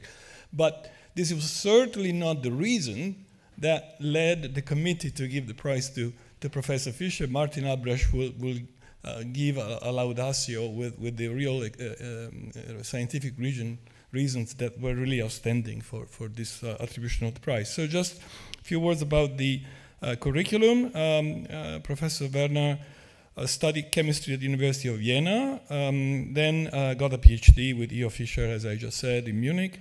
Then, when in, this was 1961, then he went to postdoc with uh, John Richards at Caltech in the US, returned to Munich to get a habilitation in 1966, then got appointed, started his career in uh, Switzerland at the University of Zurich, um, where he stayed until 75. He was promoted to rise the ranks up to uh, full professor in 1970. In 75, he was called to be professor and then head of the Inorganic Chemistry Institute at the University of Würzburg. Um, as I said, the, the scientific uh, uh, reasons for the prize will be uh, uh mentioned by, by, Martin Albrecht. I just want to mention that he was uh, has been visiting professor in numerous universities, Cambridge, Santiago, Saragossa, and I pleasingly learned also Toulouse. Um, and he got a very long list of prizes. I won't mention them all, just the main ones, maybe the ones that I perceived to be the main ones. He got the Centennial Medal of the Royal Society of Chemistry in 1993. Uh, the Max Planck Forschungspreis in 1994, the Paolo Chini Memorial Lectureship of the Italian Chemical Society in 95, the Gordon Stone Lecture uh, in 2004. So you see prizes for all sorts of different countries. Uh, he's been a fellow of the Royal Society since 1998, a member of the Accademia Leopoldina, uh, and he got uh, degrees honoris causa from Saragossa in 2001 and from his alma mater, the Friedrich Schiller University in Jena, in, in 2006.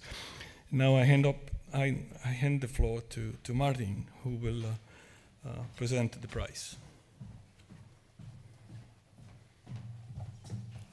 Thank you, Rinaldo, and um, for elaborating very nicely. Of course, me as the chair of the Division of Organometallic Chemistry, I feel particularly honored and pleasure to say a few words about the scientific uh, uh, credentials of uh, Professor Werner. He has been one of the pioneers of modern organometallic chemistry.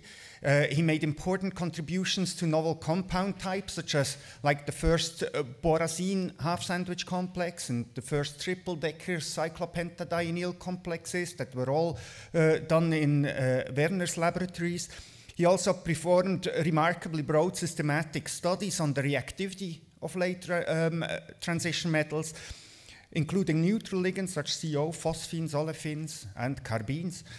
And these innovations included metal-based uh, metal-based basicity uh, as well as kinetic label ligands, which basically had the foundation or laid the foundation to establish uh, general areas and concepts of homogeneous catalysis. Already in his very early days, he started studying carbon-carbon bond coupling reactions, including carbenes, vinylidenes, and the likes, which later inspired many organic transformations. So the synthetic procedures, just as an example, uh, for ruthenium carbene complexes that we use now for olefin metathesis, uh, so Grubbs type metathesis ca uh, catalysts, these synthetic procedures have been developed by Werner and are now widely used as well in industry. So you see quite the footprint. And as such, the Division of Organometallic Chemistry is thrilled and we're honored to award Helmut Werner with this Fischer Wilkinson Prize of Organometallic Chemistry in 2023, specifically in recognizing his outstanding contributions to organometallic chemistry, in particular his groundbreaking work on kinetically labile and reactive ligands and metal-based basicity, which helped to lay the foundation of modern homogeneous catalysis. Professor Werner, I ask you to come on stage, please.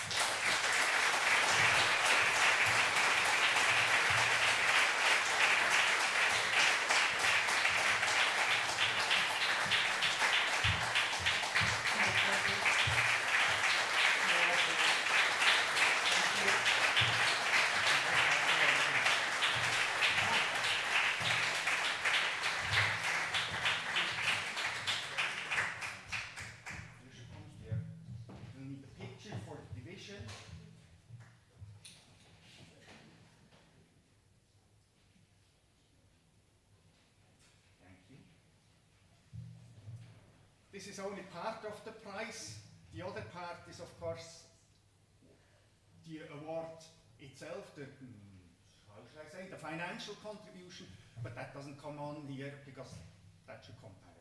So we're very pleased to offer you this award or to present you this award and we invite you to give your award lecture. Please.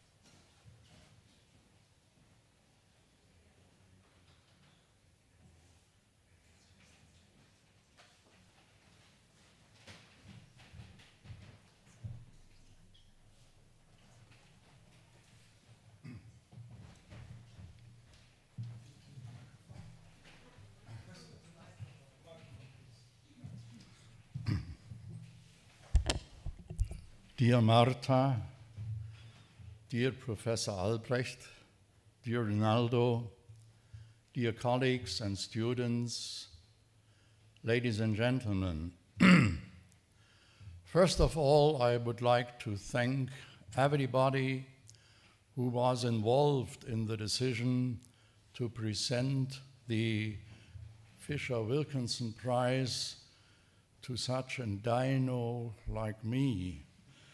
I consider this in recognition of the work which we have done or which I have done for a great period of my life together with excellent students and excellent postdocs. the 50 years which I mentioned in the title of my lecture should be considered as the time of period between 1952 and 2002. In 1952, I started at the university as a first year student, and in 2002 I became professor emeritus, had not been immediately shifted out of the department, but only slowly continued in the next few years. 1952, at that time, the chemical world seemed to be well organized. There were these two historic giants, organic and inorganic chemistry, and in between, there was a new vivid discipline called physical chemistry, which became more and more important in the first half of the 20th century.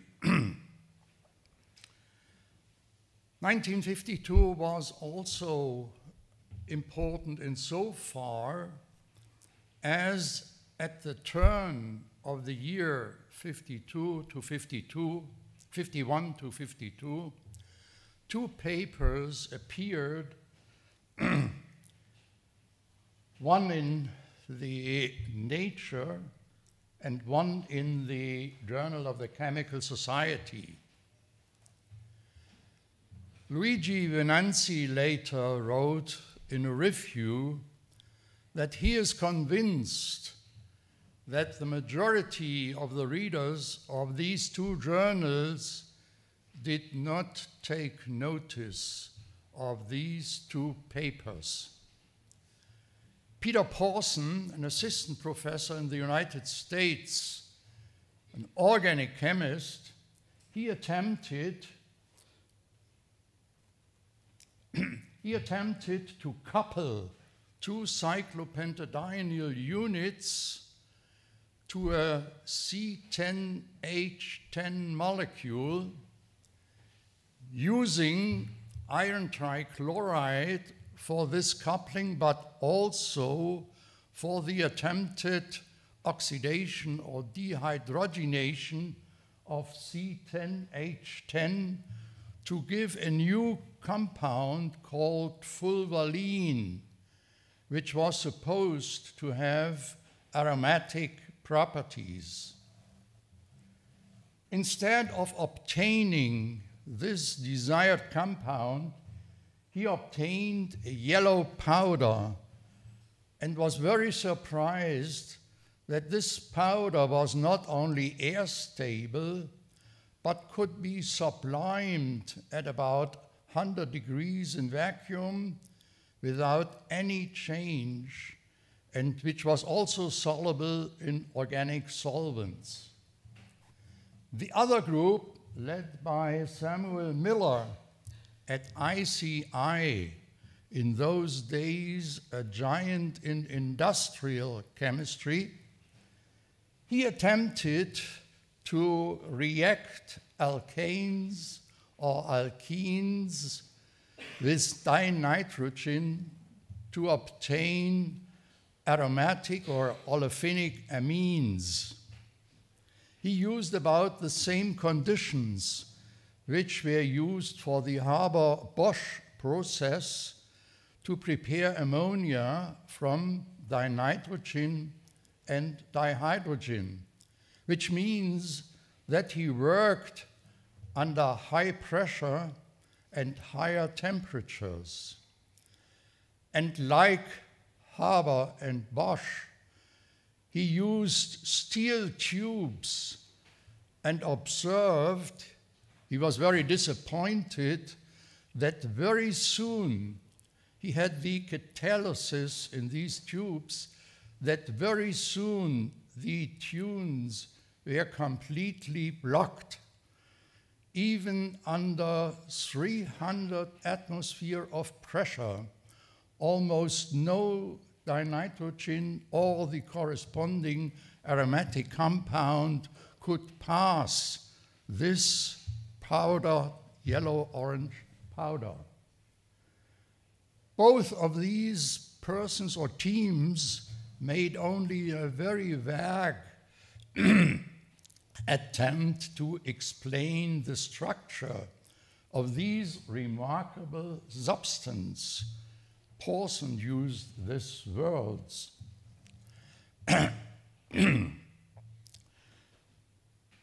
but these structural proposals didn't say uh, very less. They were not comparable to any of the ideas about chemical bonding, which was obvious in those days. But there were two people, two people besides the big majority of chemists who could have read these two papers, two people, and that was Ernst Otto Fischer in 1951, a lecturer at the nowadays Technical University in Munich, and Geoff Wilkinson, in those days, an assistant professor at Harvard University and tightly bound to Woodward, the famous organic chemist. So both people, independent from each other, suggested that a completely new structural motif should be explain the properties of that compound. Fischer, for example, showed that when this remarkable substance was dissolved in concentrated sulfuric acid, nothing happened. And after removing the sulfuric acid, the substance was re-isolated completely as it was before. Very, very unusual. So soon after, it was proven that the structural proposal which both Fischer and Wilkinson made were correct. And Jack Dunitz and Leslie Orgel, at the end of the famous year 1952, explained that we should see the bonding situation such, such as all these six pi electrons of the two ring systems are involved in the bonding.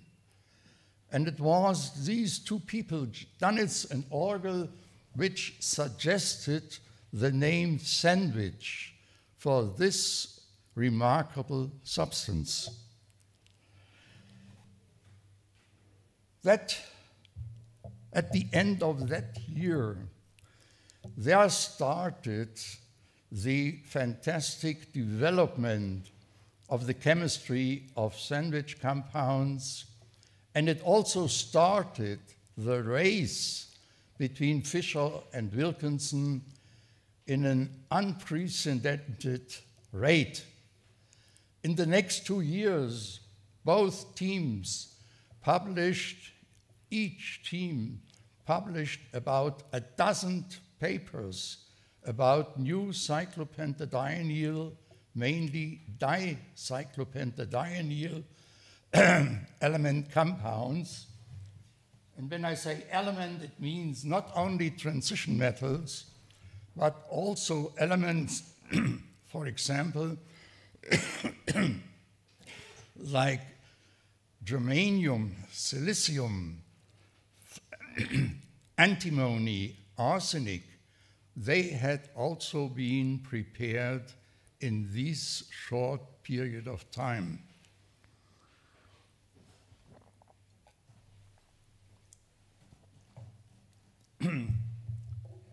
but the sandwich complexes, the original ones with two cyclopentadienyl rings, very soon with two benzene rings, dibenzene chromium was the first bisarene compound prepared by Fischer and co-workers. But this was like a bang. Since then, the development continued so that in less than three decades, all possible combinations. In the first row, you see two four-membered, five, six, seven, eight-membered rings with different central um, metals. And in the second row, there are combinations of cyclopentadienyl with three, four, six, seven, and eight members ring. And that was, at least I can remember, and it is probably difficult for the young people, for the students right now, how popular the chemistry of sandwich complexes in those days were. It finished at 1973 when Fischer and Wilkinson was awarded with the Nobel Prize. For some people that was quite strange since in the former decisions made by the Nobel Committee, if in those other decisions, mainly the first people who prepared a new type of compounds had been honored. But neither Pauson nor Miller had continued to investigate the chemistry of the sandwich complexes, and so it was Fischer and Wilkinson who received the Nobel Prize. And the Nobel Committee said a very essential part of a scientific discipline is its structure and its intellectual capacity. With their work, Fischer and Wilkinson have expanded the basic concept of chemistry, and in this way have changed the structure of this discipline. The prize is an award for chemistry for chemists. And I'm certainly not the only one who would say that is a very, very good definition. but the dicyclopentadienyl iron, the so-called ferrocene, became also a playground for organic chemists, since Woodward discovered that ferrocene is going very smoothly electrophilic substitution. Woodward suggested that the attack of the electrophile goes primarily to the metal and then the electrophile migrates to one of the rings, and finally, by proton dissociation, the final substituted compound is formed. This intermediate, which Woodward attempted to isolate with the cyclopentadienyl ring and the cyclopentadiene ring system. This is a 16 electron species. It means, in contrast to the ferrocene and the substituted ferrocene, it is two electron less than the maximum number of bonding electrons. So that was the idea that we attempted to, instead of using nicolo, uh, ferrocene, nickelocene, and treated nickelocene with the same type of electrophiles which also Woodward used. And one was the triphenyl methyl chloride. We could observe that there is the intermediate which we hoped to isolate, but we were not successful since the cleavage of the bond between nickel and this diene derivative occurred very rapidly, and so finally only uh, finally only nickel dichloride and the substituted cyclopentadiene were isolated. The next idea was instead of chloride as a small anionic partner, we should use a more larger, a bigger anion, also an anion which has no tendency to bind to the metal. And so when we use, instead of the chloride, the tetrafluoroborate, a real salt-like compound, or we use BF3 or nickel uh, bis tetrafluoroboride, we obtain the first triple decker in almost quantitative yields. It is a dark red, stable compound. it dissolves in organic solvents like dichloromethane or tetrahydrofuran without decomposition. And I was also lucky at that time to have a British postdoc. He was very active and not only in chemistry, because about only a few weeks after he arrived at Zurich, he founded the first rugby club at the University of Zurich. But at the same time, what was more important for us, he had experience in working with liquid HF, hydrogen fluoride. And he discovered that at the ETH, we were at the University of Zurich, but our neighbor, the ETH, they had for doing NMR experiments so called spaghetti tubes. That means tubes which are made of polytetrafluoroethylene. And they had already used these spaghetti tubes for NMR measurements.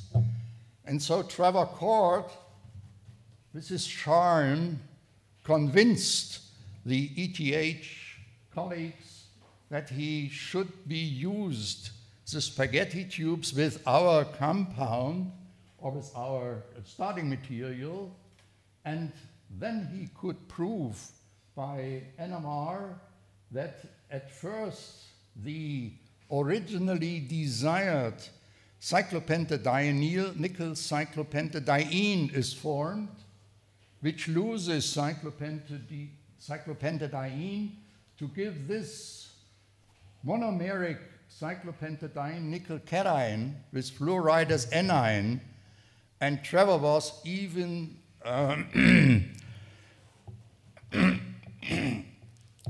Trevor was even lucky that he could isolate that compound, which is not very stable, but which could prove by molecular weights and by elemental analysis that it has this monomeric structure.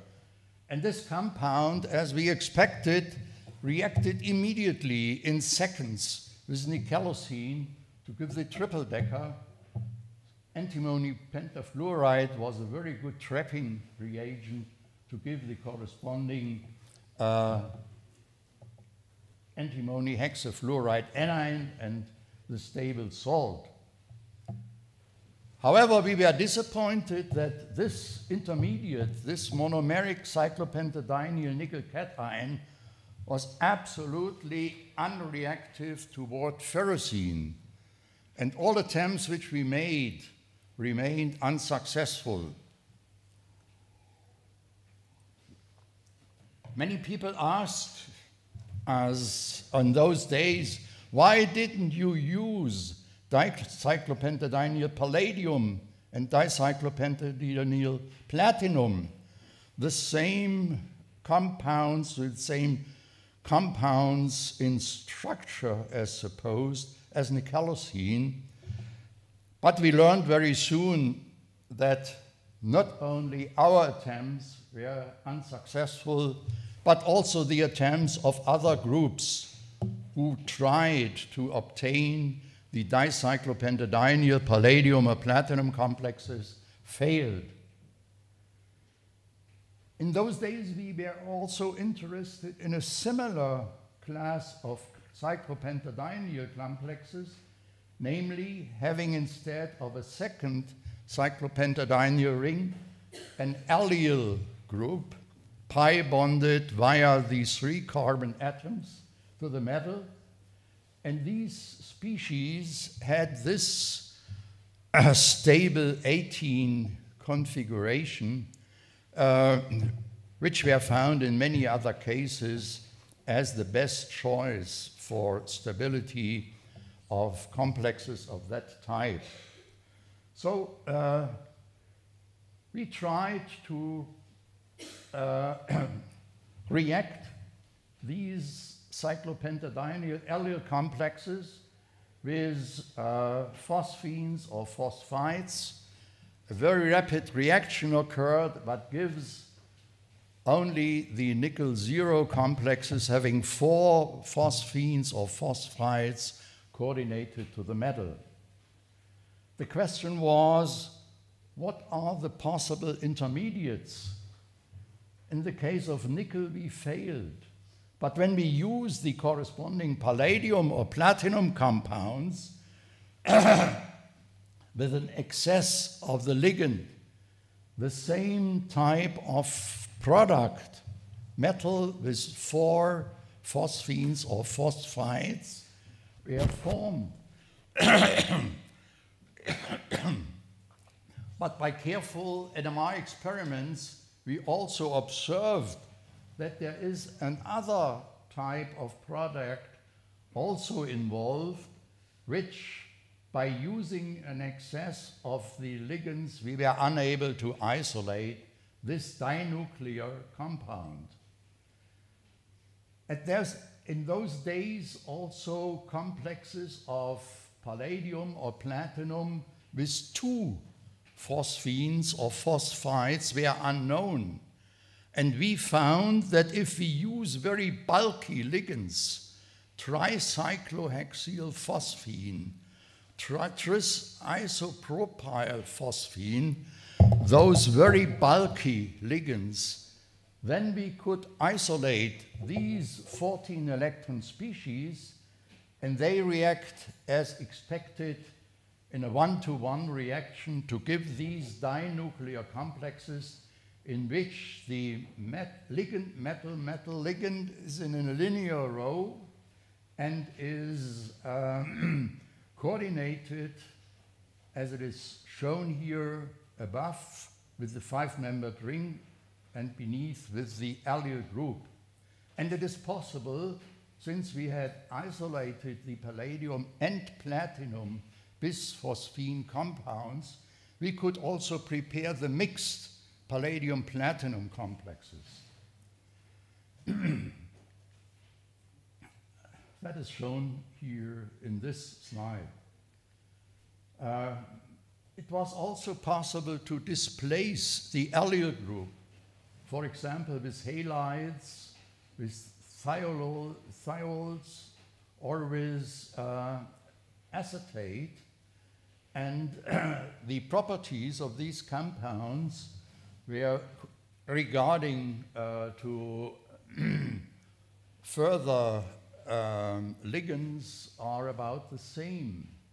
But we were unable, for example, to react the chloride chloride or bromide on the left-hand side, or the acetate on the right-hand side with sodium cyclopentadienyl to obtain a dinuclear complex having one planar ligand above and one planar ligand beneath this metal-metal bond. It was possible when we changed the synthetic route, we started with the dinuclear palladium complex having two bridging acetate groups with sodium cyclopentadienyl, the acetate, oh, so, so, sorry, the chloride was displaced by cyclopentadienyl. This compound with uh, the sodium calcium um, reduction material gave the wanted compound, but the better route was to displace the acetate ligand with a second cyclopentadienyl, and this at room temperature could be isolated and increasing the temperature led to this two bis palladium complex having two bridging cyclopentadienyl ligands. we could also investigate the fluxional behavior of this compound on the right side. The two rings, the pi bonded and the sigma bonded, exchange at particular conditions. And so this can be followed by doing NMR measurements at different temperatures. We also reacted the bis palladium compounds with um, other ligands than phosphine or phosphides. And then you see, as you see here, we obtained dinuclear palladium compounds having isocyanide, SO2, or CO in the bridging positions. And this cyclopentadienyl ring bonded only to one of the two palladium atoms. The inter most interesting displacement reaction was that we, when we used the uh, ligand having the anion of uh, terti tertiary butyl acetic acid, if we displaced this uh, bridging ligand by cobalt tetracarbonyl anion or cyclopentadienyl chromium, molybdenum, and tungsten tricarbonyl anions. In the cases of cobalt, we obtained a tri heteronuclear, trinuclear uh, compound, and with the chromium, molybdenum, and tungsten anions, we obtained uh, a tetra, a, a trine metal, mixed metal complex in which the key atoms, the two palladiums, the chromolybdenum tungsten, and one carbon atom of CO form a tetrahedron arrangement. What about the reactivity? I talked to you about the reactivity of the cyclopentadienyl allyl complexes, but what about the reactivity of the original sandwich compounds? Ferrocene is absolutely unreactive towards all phosphines, phosphites, isocyanides, and so on, which we tried. Nickel, nickelocene gives a mixture of products, and it was very difficult to separate these compounds. And so only with cobalt there was a clean reaction. cobalt cobaltocene is a 19 electron compound, so it is much more reactive than ferrocene. And so, under mild conditions, one of the cyclopentadienyl ring was displaced by two phosphine ligands to form the half sandwich is two coordinated uh, phosphines. It was also possible to prepare the corresponding rhodium compound, and it turned out that these complexes of the type this is shown on the top of this scheme, these complexes are strong bases, Lewis bases, or as we call it, metal bases. Even with the weak acid ammonium cation, a protonation at the metal occurred. With alkyl iodides, alkylation occurs. With acyl chloride, acylation. With uh, trimethylsilyl or uh, uh, chloride, product is formed having a rhodium, cobalt or rhodium, and uh, germanium and tin bond, and also a corresponding oxidation with chlorine or iodine forms the compound on the left-hand side of this slide. And it was not only the bisphosphine complexes which we used in those reactions at the starting material, but also relatives of these compounds, of the bisphosphine compounds, relatives which are shown in this slide, are able to undergo oxidative addition reactions with acids, methyl iodide, dichloromethane, or chloroform. The synthesis of the alkyne complex, in this slide, it is shown that methyl or phenyl groups are bonded to the alkyne, but when we use the most simple alkyne, acetylene, then not the alkyne compound, on the above right-hand side was formed, but instead the isomer corresponding, if R would be H in the above compound, the isomer, the ligand called vinylidene, is the only compound which is isolated by reacting the acetylene square planar acetylene complex with sodium cyclopentadienyl. And when we use now the mixed alkyne, one bigger part, one bigger um, substituent like phenyl and the other hydrogen, then if it is react, if the reaction is done very immediately after the starting material has been isolated with sodium cyclopentadienyl, then the expected alkyne rhodium complex is formed. But if we take the starting material in solution, we can observe an equilibrium with the isomeric hydridoalkynyl rhodium complex, an isomer of the starting material, and this intermediate reacts with sodium cyclo with, with uh, um, ex, um, isomerizes to the uh, corresponding vinylidene compound, having now only one hydrogen and the phenyl group coordinated to the beta carbon atom. Both the alkyne and the isomeric phenylvinylidene compound react with sodium cyclopentadienyl. On the left-hand side, the alkyne complex is formed. On the right-hand side, the vinylidene compound.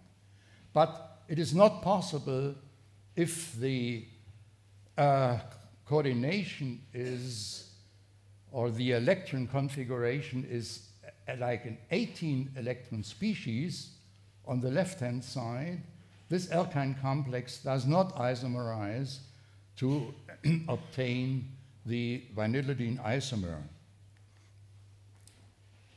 In the course of these investigations, we prepared not only vinylidene, rhodium, or iridium complexes, but also the so-called, this is our slang in the lab, the MC3, the MC4, and the MC5 compounds.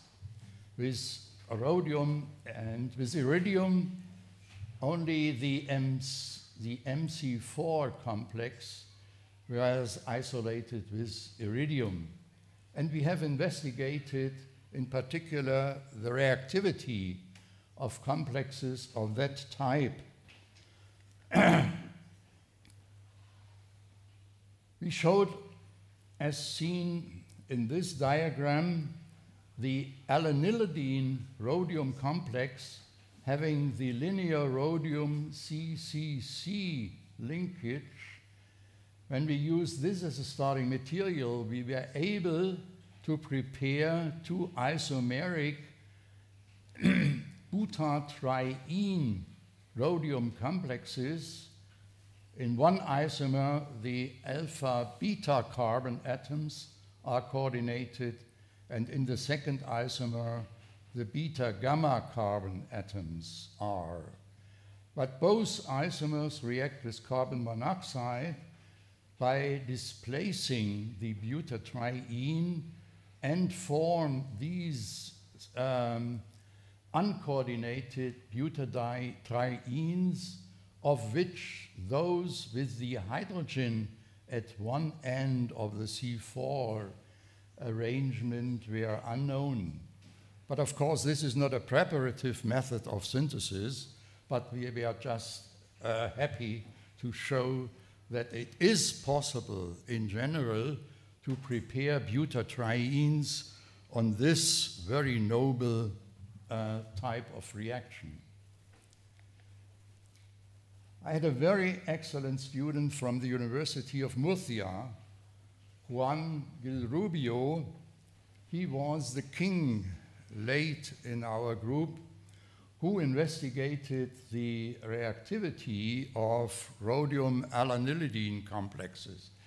And as you see, he was, for example, able to couple two of the rhodium allenylidene fragments with the dianion of the uh, tetracarbon dialkyne in question.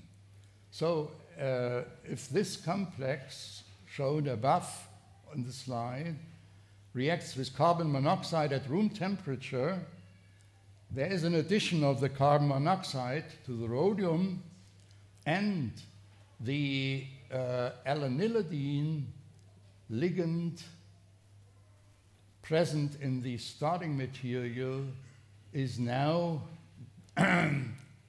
coordinating in a separate way to the rhodium. There are still the uh, C4 carbon atoms, which are now bonded in contrast to the starting material, also to the alpha carbon of the allenylidene. Increasing the temperature led to a further rearrangement, and so we have another C10 unit as bridging ligand between the two rhodiums. And it is almost a linear C8 unit which spans the space between the two metals. Finally, after having investigated and synthesized rhodium complexes with vinylidene and the 3, 4, and 5 carbon ligands, there was the quest for obtaining the most simple rhodium compounds having a rhodium carbon double bond, namely rhodium carbenes. As you see with simple alkynes, the vinylidene compounds are formed, and with propargylic alcohols, which are easily available, the allenylidene compound are the product. But what could be used to obtain the carbene? The first experiments failed.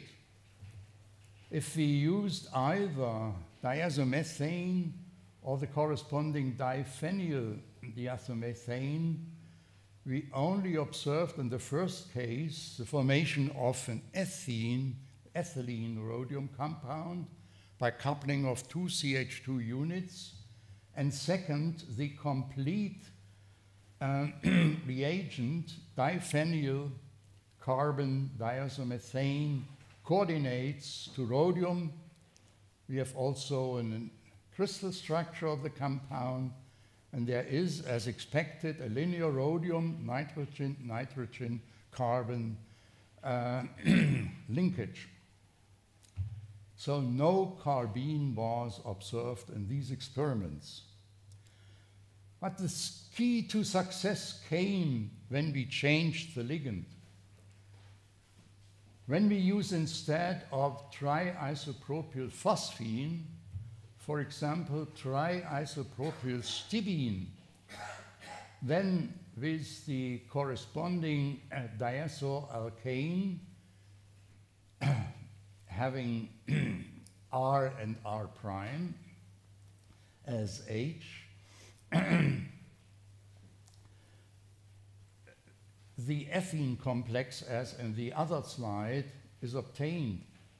But if we use instead of the diazomethane, the di substituted compound as starting material, now there was no reaction, no reaction at all if triisopropyl phosphine are the ligands.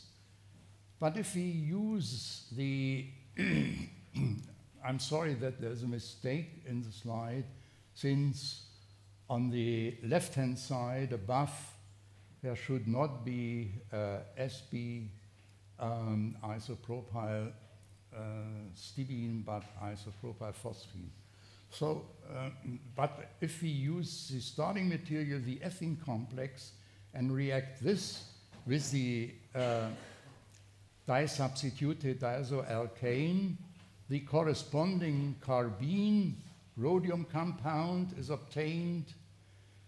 It reacts with the sodium cyclopentadienyl to give the half sandwich rhodium carbene with the square planar compound in brackets, there is an exchange of the stibine by the phosphine possible.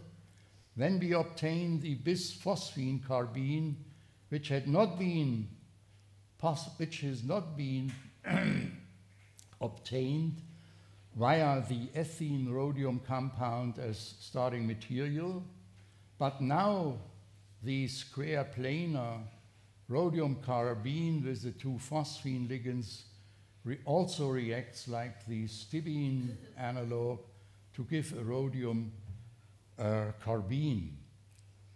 And these rhodium carbenes are quite reactive with CO.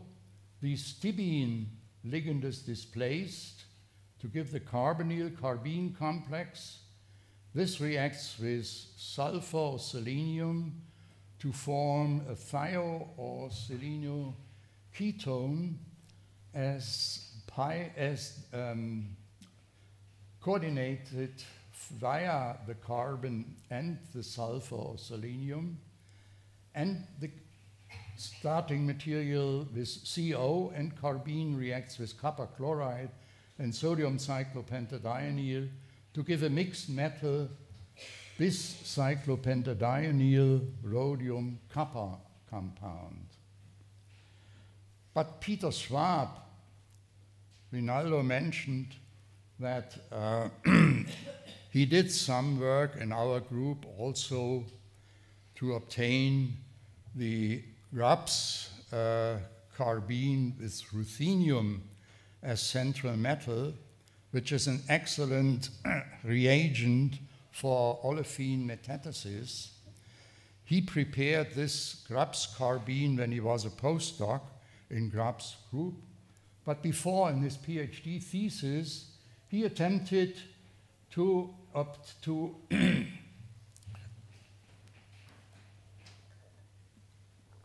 to determine the melting point of these uh, starting material on the left-hand side. And he observed very careful what happened by constant heating of these small tube, which are used for the determination of melting points. And then he observed that just before it started to melt, there was a change in color.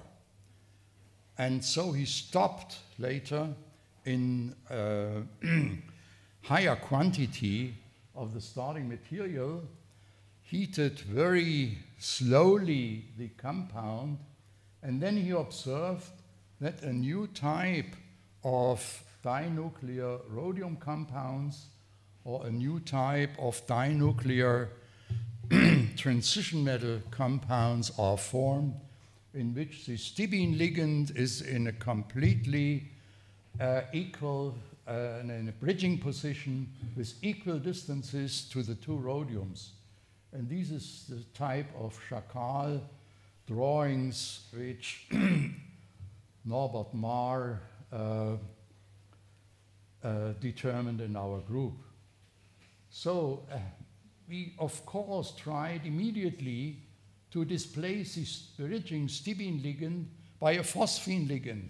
That seemed to us the highest challenge to have the phosphine ligand type, which is so often used in coordination and also in organometallic chemistry, but we failed to displace in these compounds the stibine by the phosphine. So we had to go a way around. We first have to displace the chloride ligands by acetyl acetonate. We can do it stepwise depending on the amount of the sodium acetyl acetate which we used. So we could obtain compound uh, first in which only one chloride was displaced by the acetyl acetonate. now in this product, the distances between the antimony and the two rhodiums are different.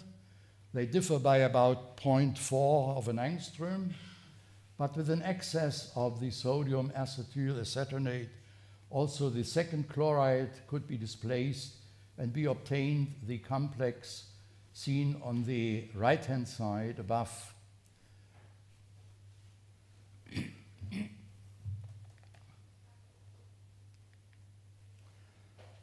so, why or how can we, what we wanted already, having the phosphine in the bridging position? It is possible on two different routes. The better one is to use the monochloro monoacetyl acetonate complex as the starting material. In this starting material, the stibine is cleanly displaced by the trimethyl phosphine, and this reacts with the second molecule of sodium acetyl acetonate to give the final product in which the trimethylphosphine is in a clean bridging position. Distances to the two rhodiums are almost identical.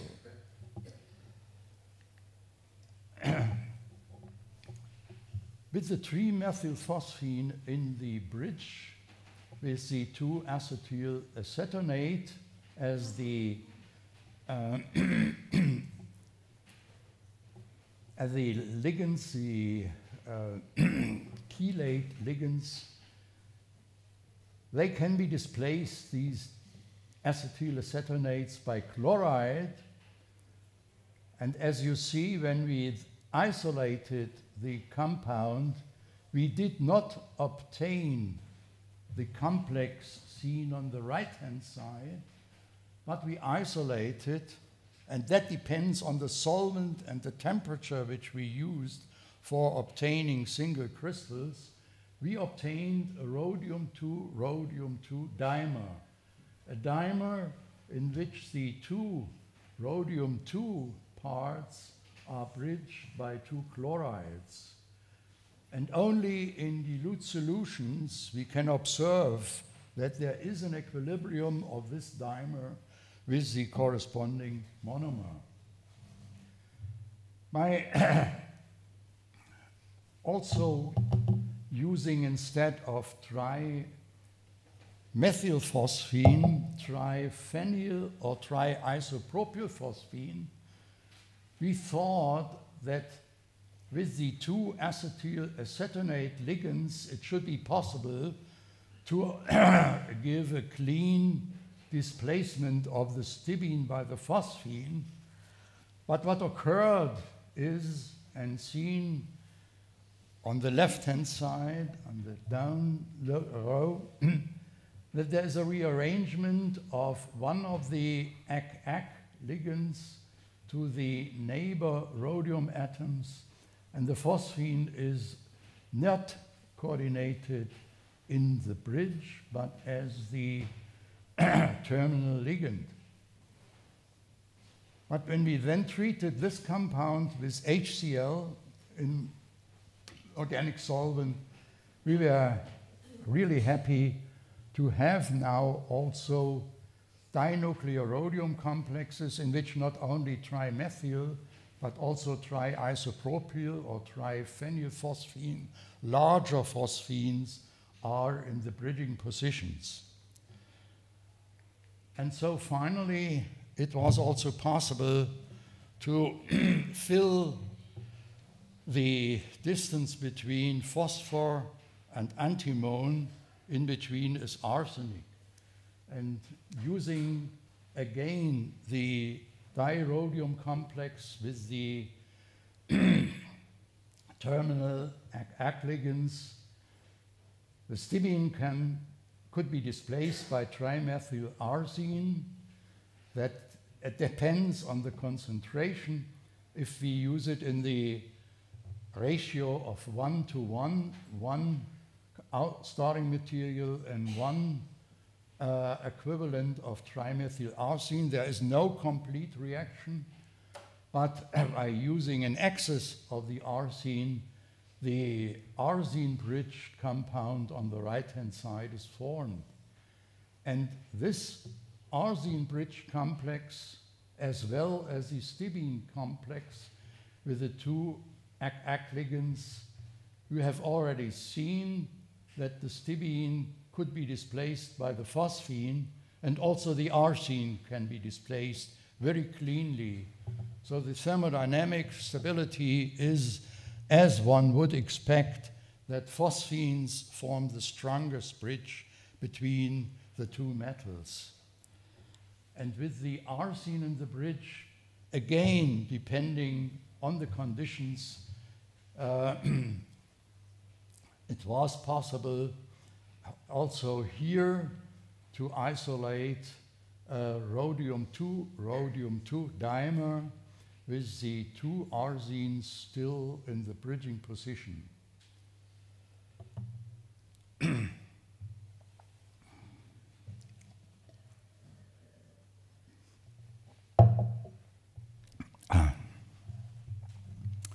As you realized, uh, I am no more a young person. and the last time that I gave a lecture about science or about chemistry, that was in 2011 when we celebrated at Bordeaux the 60th birthday of Didier Astruc, a friend of mine for many years. But between 2011 and today, I never talked about chemistry, at least not in the public. I was interested in summarizing some historical events since I observed during my academic career that it became more and more difficult if you give lectures to first or third or five year students and to explain where the present knowledge comes from. So I decided first to write a book about the parts of organometallic chemistry which we were interested in and also other colleagues worldwide were interested in. And second, I wrote at least, and that was a little bit more easy because it was in German. I wrote a fairly thick book about the history of inorganic chemistry in general, starting with the 17th century. So I was nevertheless without a lab fairly busy. But, and I think this was one of the privilege which I had after I became professor emeritus, I had more time, maybe not enough for the family. And of course, I would like to think in particular, not in particular, not the institutions which gave me the money to do the work which we have done. But I already said that I had excellent students and postdocs, and more importantly, I had a very, very under a, a family which understood that I could not be from one day to the other a private person. So, nevertheless, the family life in the last uh, 20 years became more and more important. And apart from my wife and my children, there were in particular these three little guys which helped me to explore, as it is mentioned in the song, the bright ride of the life. Thank you.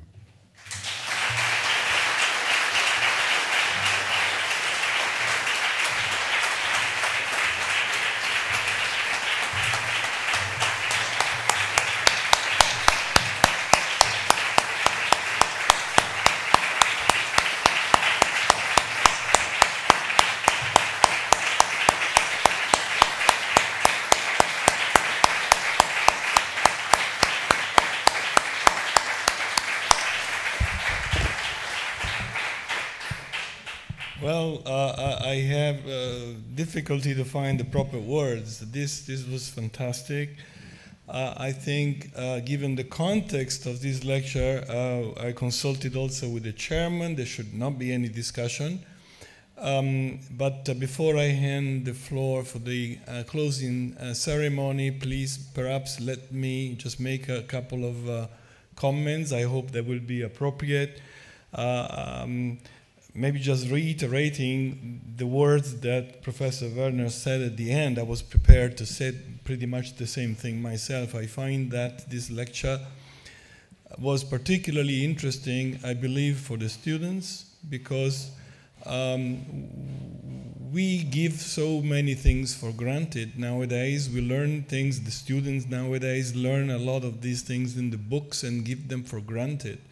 But in those days, uh, there were uh, active fields of research, just like uh, what we're doing now is an active field of research giving rise to controversies and debates and so on. And uh, Professor Werner, I think, was very uh, good at giving you a feeling of how these days were and how ideas were uh, progressing and shaped our discipline to the point in which it is today. That's the first thing I wanted to mention. And then uh, the other thing is really that uh, I think this was a very small selection. Of course, Professor Werner didn't have time to show all of the contributions that he has given, but uh, I think it was an appropriate selection to uh, demonstrate to, to you uh, the impact that his own work has, has made in the field and uh, how highly he deserved to have this award. So I would like you to join me, please, in thanking Professor Werner again to recognize his prize.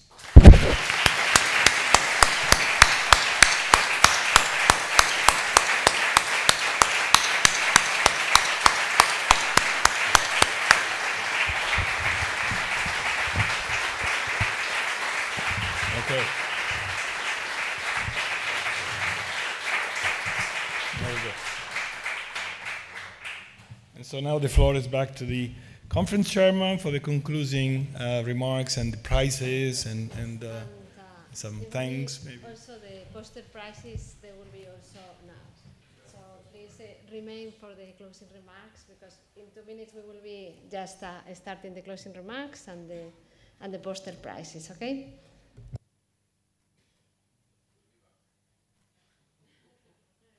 Remain, remain.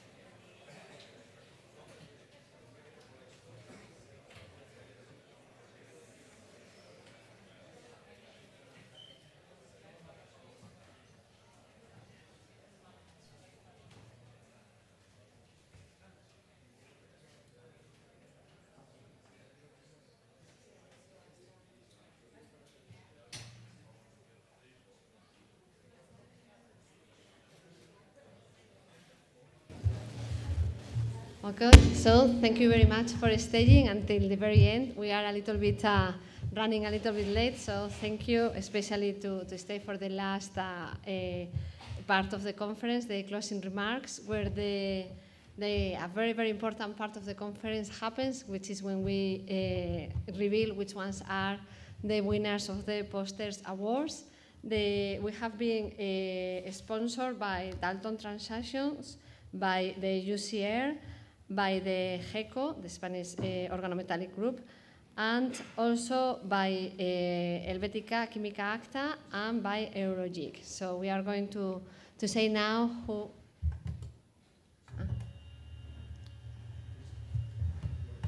Ah.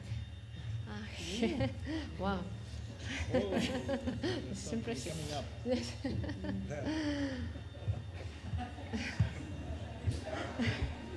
Wow, wow, wow, wow. this is High tech. high tech. Para pasar. Sorry. Ah, how do, ah, you pass. Ah, ah, okay. Okay. So, so then the. Then, so we will start by saying the the winners of the uh, the Spanish Society uh, or the special group of the Spanish Society, uh, the GEQO.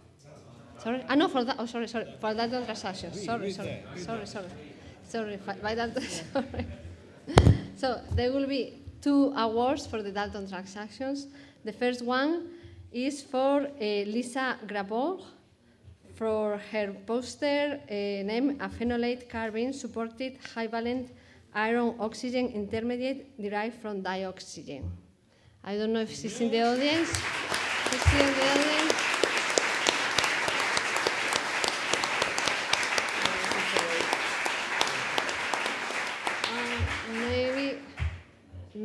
She's not in the audience. I don't know if anyone.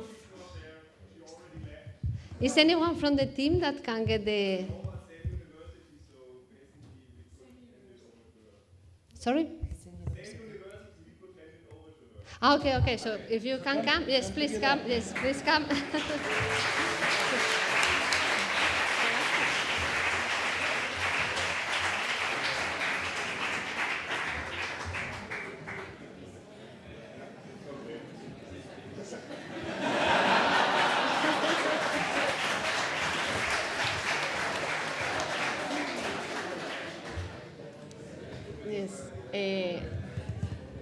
also, the award eh, eh, has also some economic eh, part, so we also will send it to her. So we will contact her. So if you can also send it. yes, yes.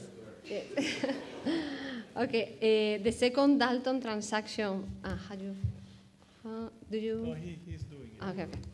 The second award of the Dalton transaction is for David Sanchez Roa for her post, his poster NHC CDI beta- betaines as ligands towards group 13 elements, coordination studies and reactivity.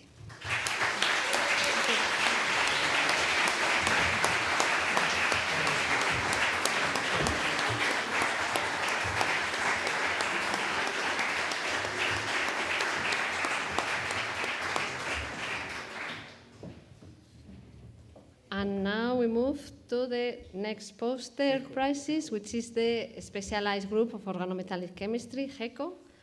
And uh, the first prize goes to uh, Joseph Empar.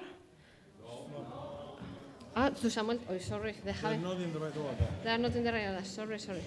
For Samuel Toro, for his.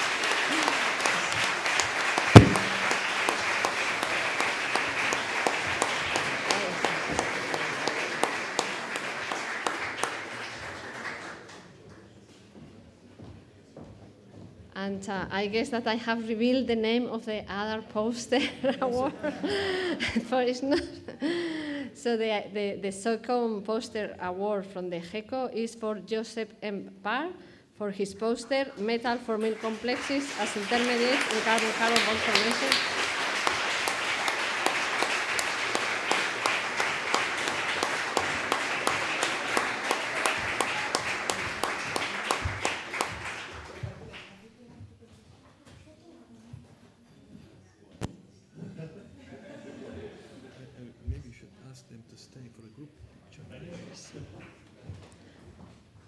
Maybe uh, I would like to say that uh, it will be good to have a group picture of, of all the, the, the awardees. So when, I, when we finish uh, giving away the names, please come back to the stage to have a picture with all of you as a group.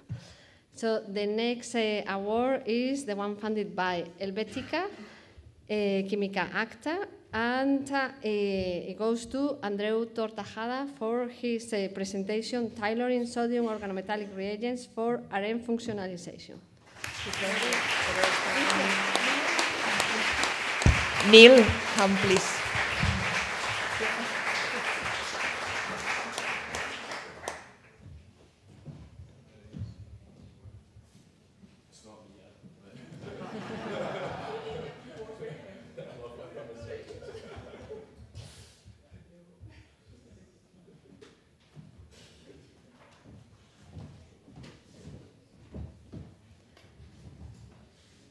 And uh, now uh, the, the UCR uh, Journal Sport Poster Prize uh, goes to Robin Sievers for his presentation introducing the perfluorinated CP star ligand into coordination chemistry. Thank you.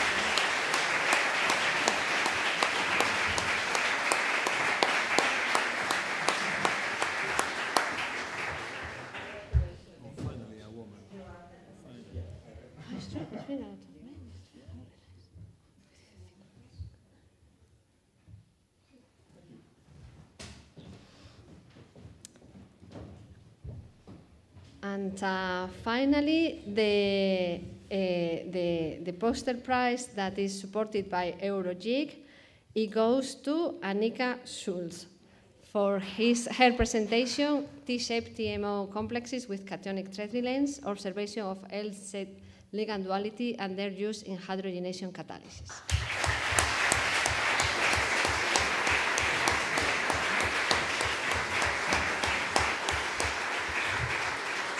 So, so please, if all the awardees can come to the stage for a group photo, please. And, also, I would like to say that uh, uh, this award has an economic uh, part that uh, we will just uh, contact all of you by email to, to make it effective.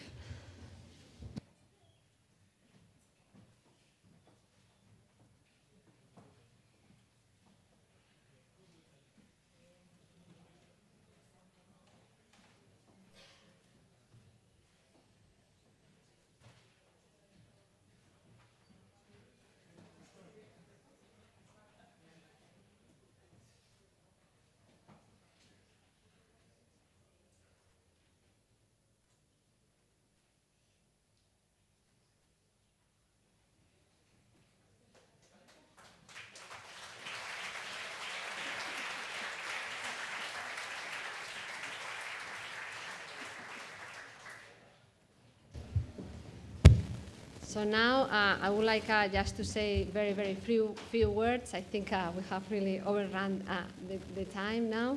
But uh, I would like uh, to say that it has been a great pleasure to host the conference here, where I think that cutting edge of organometallic, research, organometallic chemistry has been presented.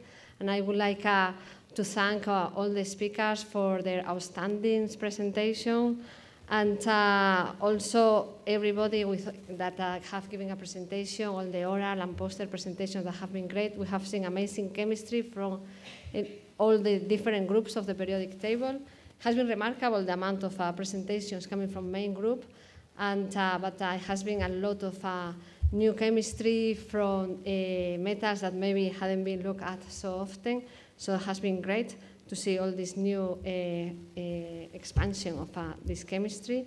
And, uh, and I would like uh, uh, to thank again my team, the, the rest of the organizing committee, which has been like extremely helpful. I would like also to thank the technical secretariat and of course of all our team of uh, volunteers that it has been they have been doing a fantastic, fantastic work. So I would like to ask for an applause to all of them.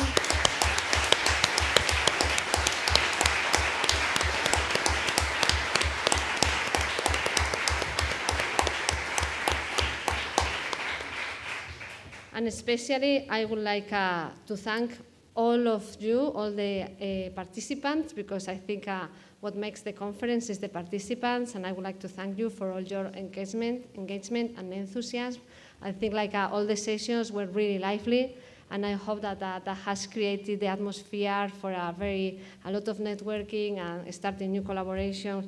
And uh, definitely, I, I, would like to thank you very much uh, for being here and also for your really eager participation in all the different uh, sessions of this conference. So also I would like uh, to thank to you all.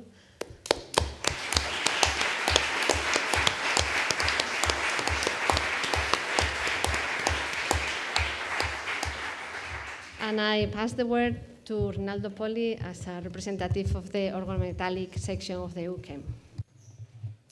Yes, oh, okay, so th this is a little heavy duty for me because I wasn't supposed to be on this podium for the closing ceremony. This was the job of uh, Martin Albrecht, who uh, in fact gave uh, the opening uh, speech um, on behalf of the Division of Organometallic Chemistry. Uh, but he had to catch an early flight. In fact, uh, I apologize for him. he asked me to do so. And uh, it turns out that uh, uh, there is there is a board. The division um, has meetings every year, like we had one here, and I'm on the board. There are four persons on the board: president, who's Martin, vice president, who's Beatriz Royo, and who also had to leave to go to another conference. And then there is Montserrat Dieguez as treasurer, and myself. I am the web editor. And, but I'm stepping down. This, this, is my last year, and so I was asked to replace uh, Martin. So um, a couple of things maybe I would like to say. First of all, because maybe not all of you know, but uh, especially the young students, but uh, uh, we're really proud because this uh, series of conferences, uh, which is under the auspices of a division of EuChemS, this is the Division of Organometallic Chemistry, uh, it, it, may not be the oldest division, but this is the oldest running a series of conferences of the divisions of, uh, of the EuChemS, because this, as uh, Janusz Lewiński reminded in his lecture, um, was in fact started by uh, Stanislav Pasynkiewicz. This is the 25th edition, so which means 50 years. Um, so uh, it's the oldest running uh, series of conferences. I think what the uh, various uh, speakers and poster presenters have demonstrated very clearly is that this is still, since the days of uh, Wilkinson and Fischer, as Professor Werner has reminded us today, since those days, our discipline remains a very uh, active, very vibrant uh, discipline, rich of uh, results, rich of implication and applications. We have seen many, many applications in this conference, whether it's in catalysis, whether it's in materials, whether it's in uh, bio biology, on, on medicine, and, and, uh, and, and, for this reason, I think that this discipline uh, still has a very, very bright future.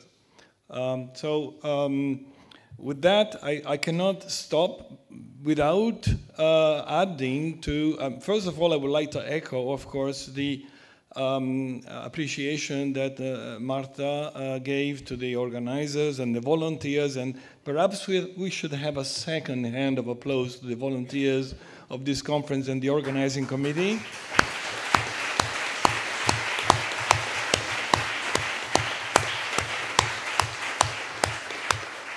And, and, Marta said that the success of this conference is due to the, to the presence of, of, of you guys who came here for this conference.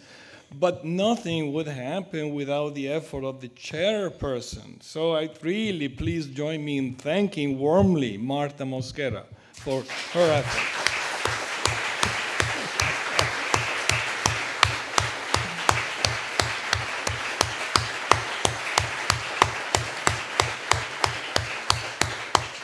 And so with that, I, will give the floor back to Marta for the closing words, I think. Okay, uh, I think uh, now this is time. Every all the good things have uh, to have an end. So I think that this is time probably now to to to close uh, this conference. I hope that you have enjoyed these days and you have enjoyed the town also.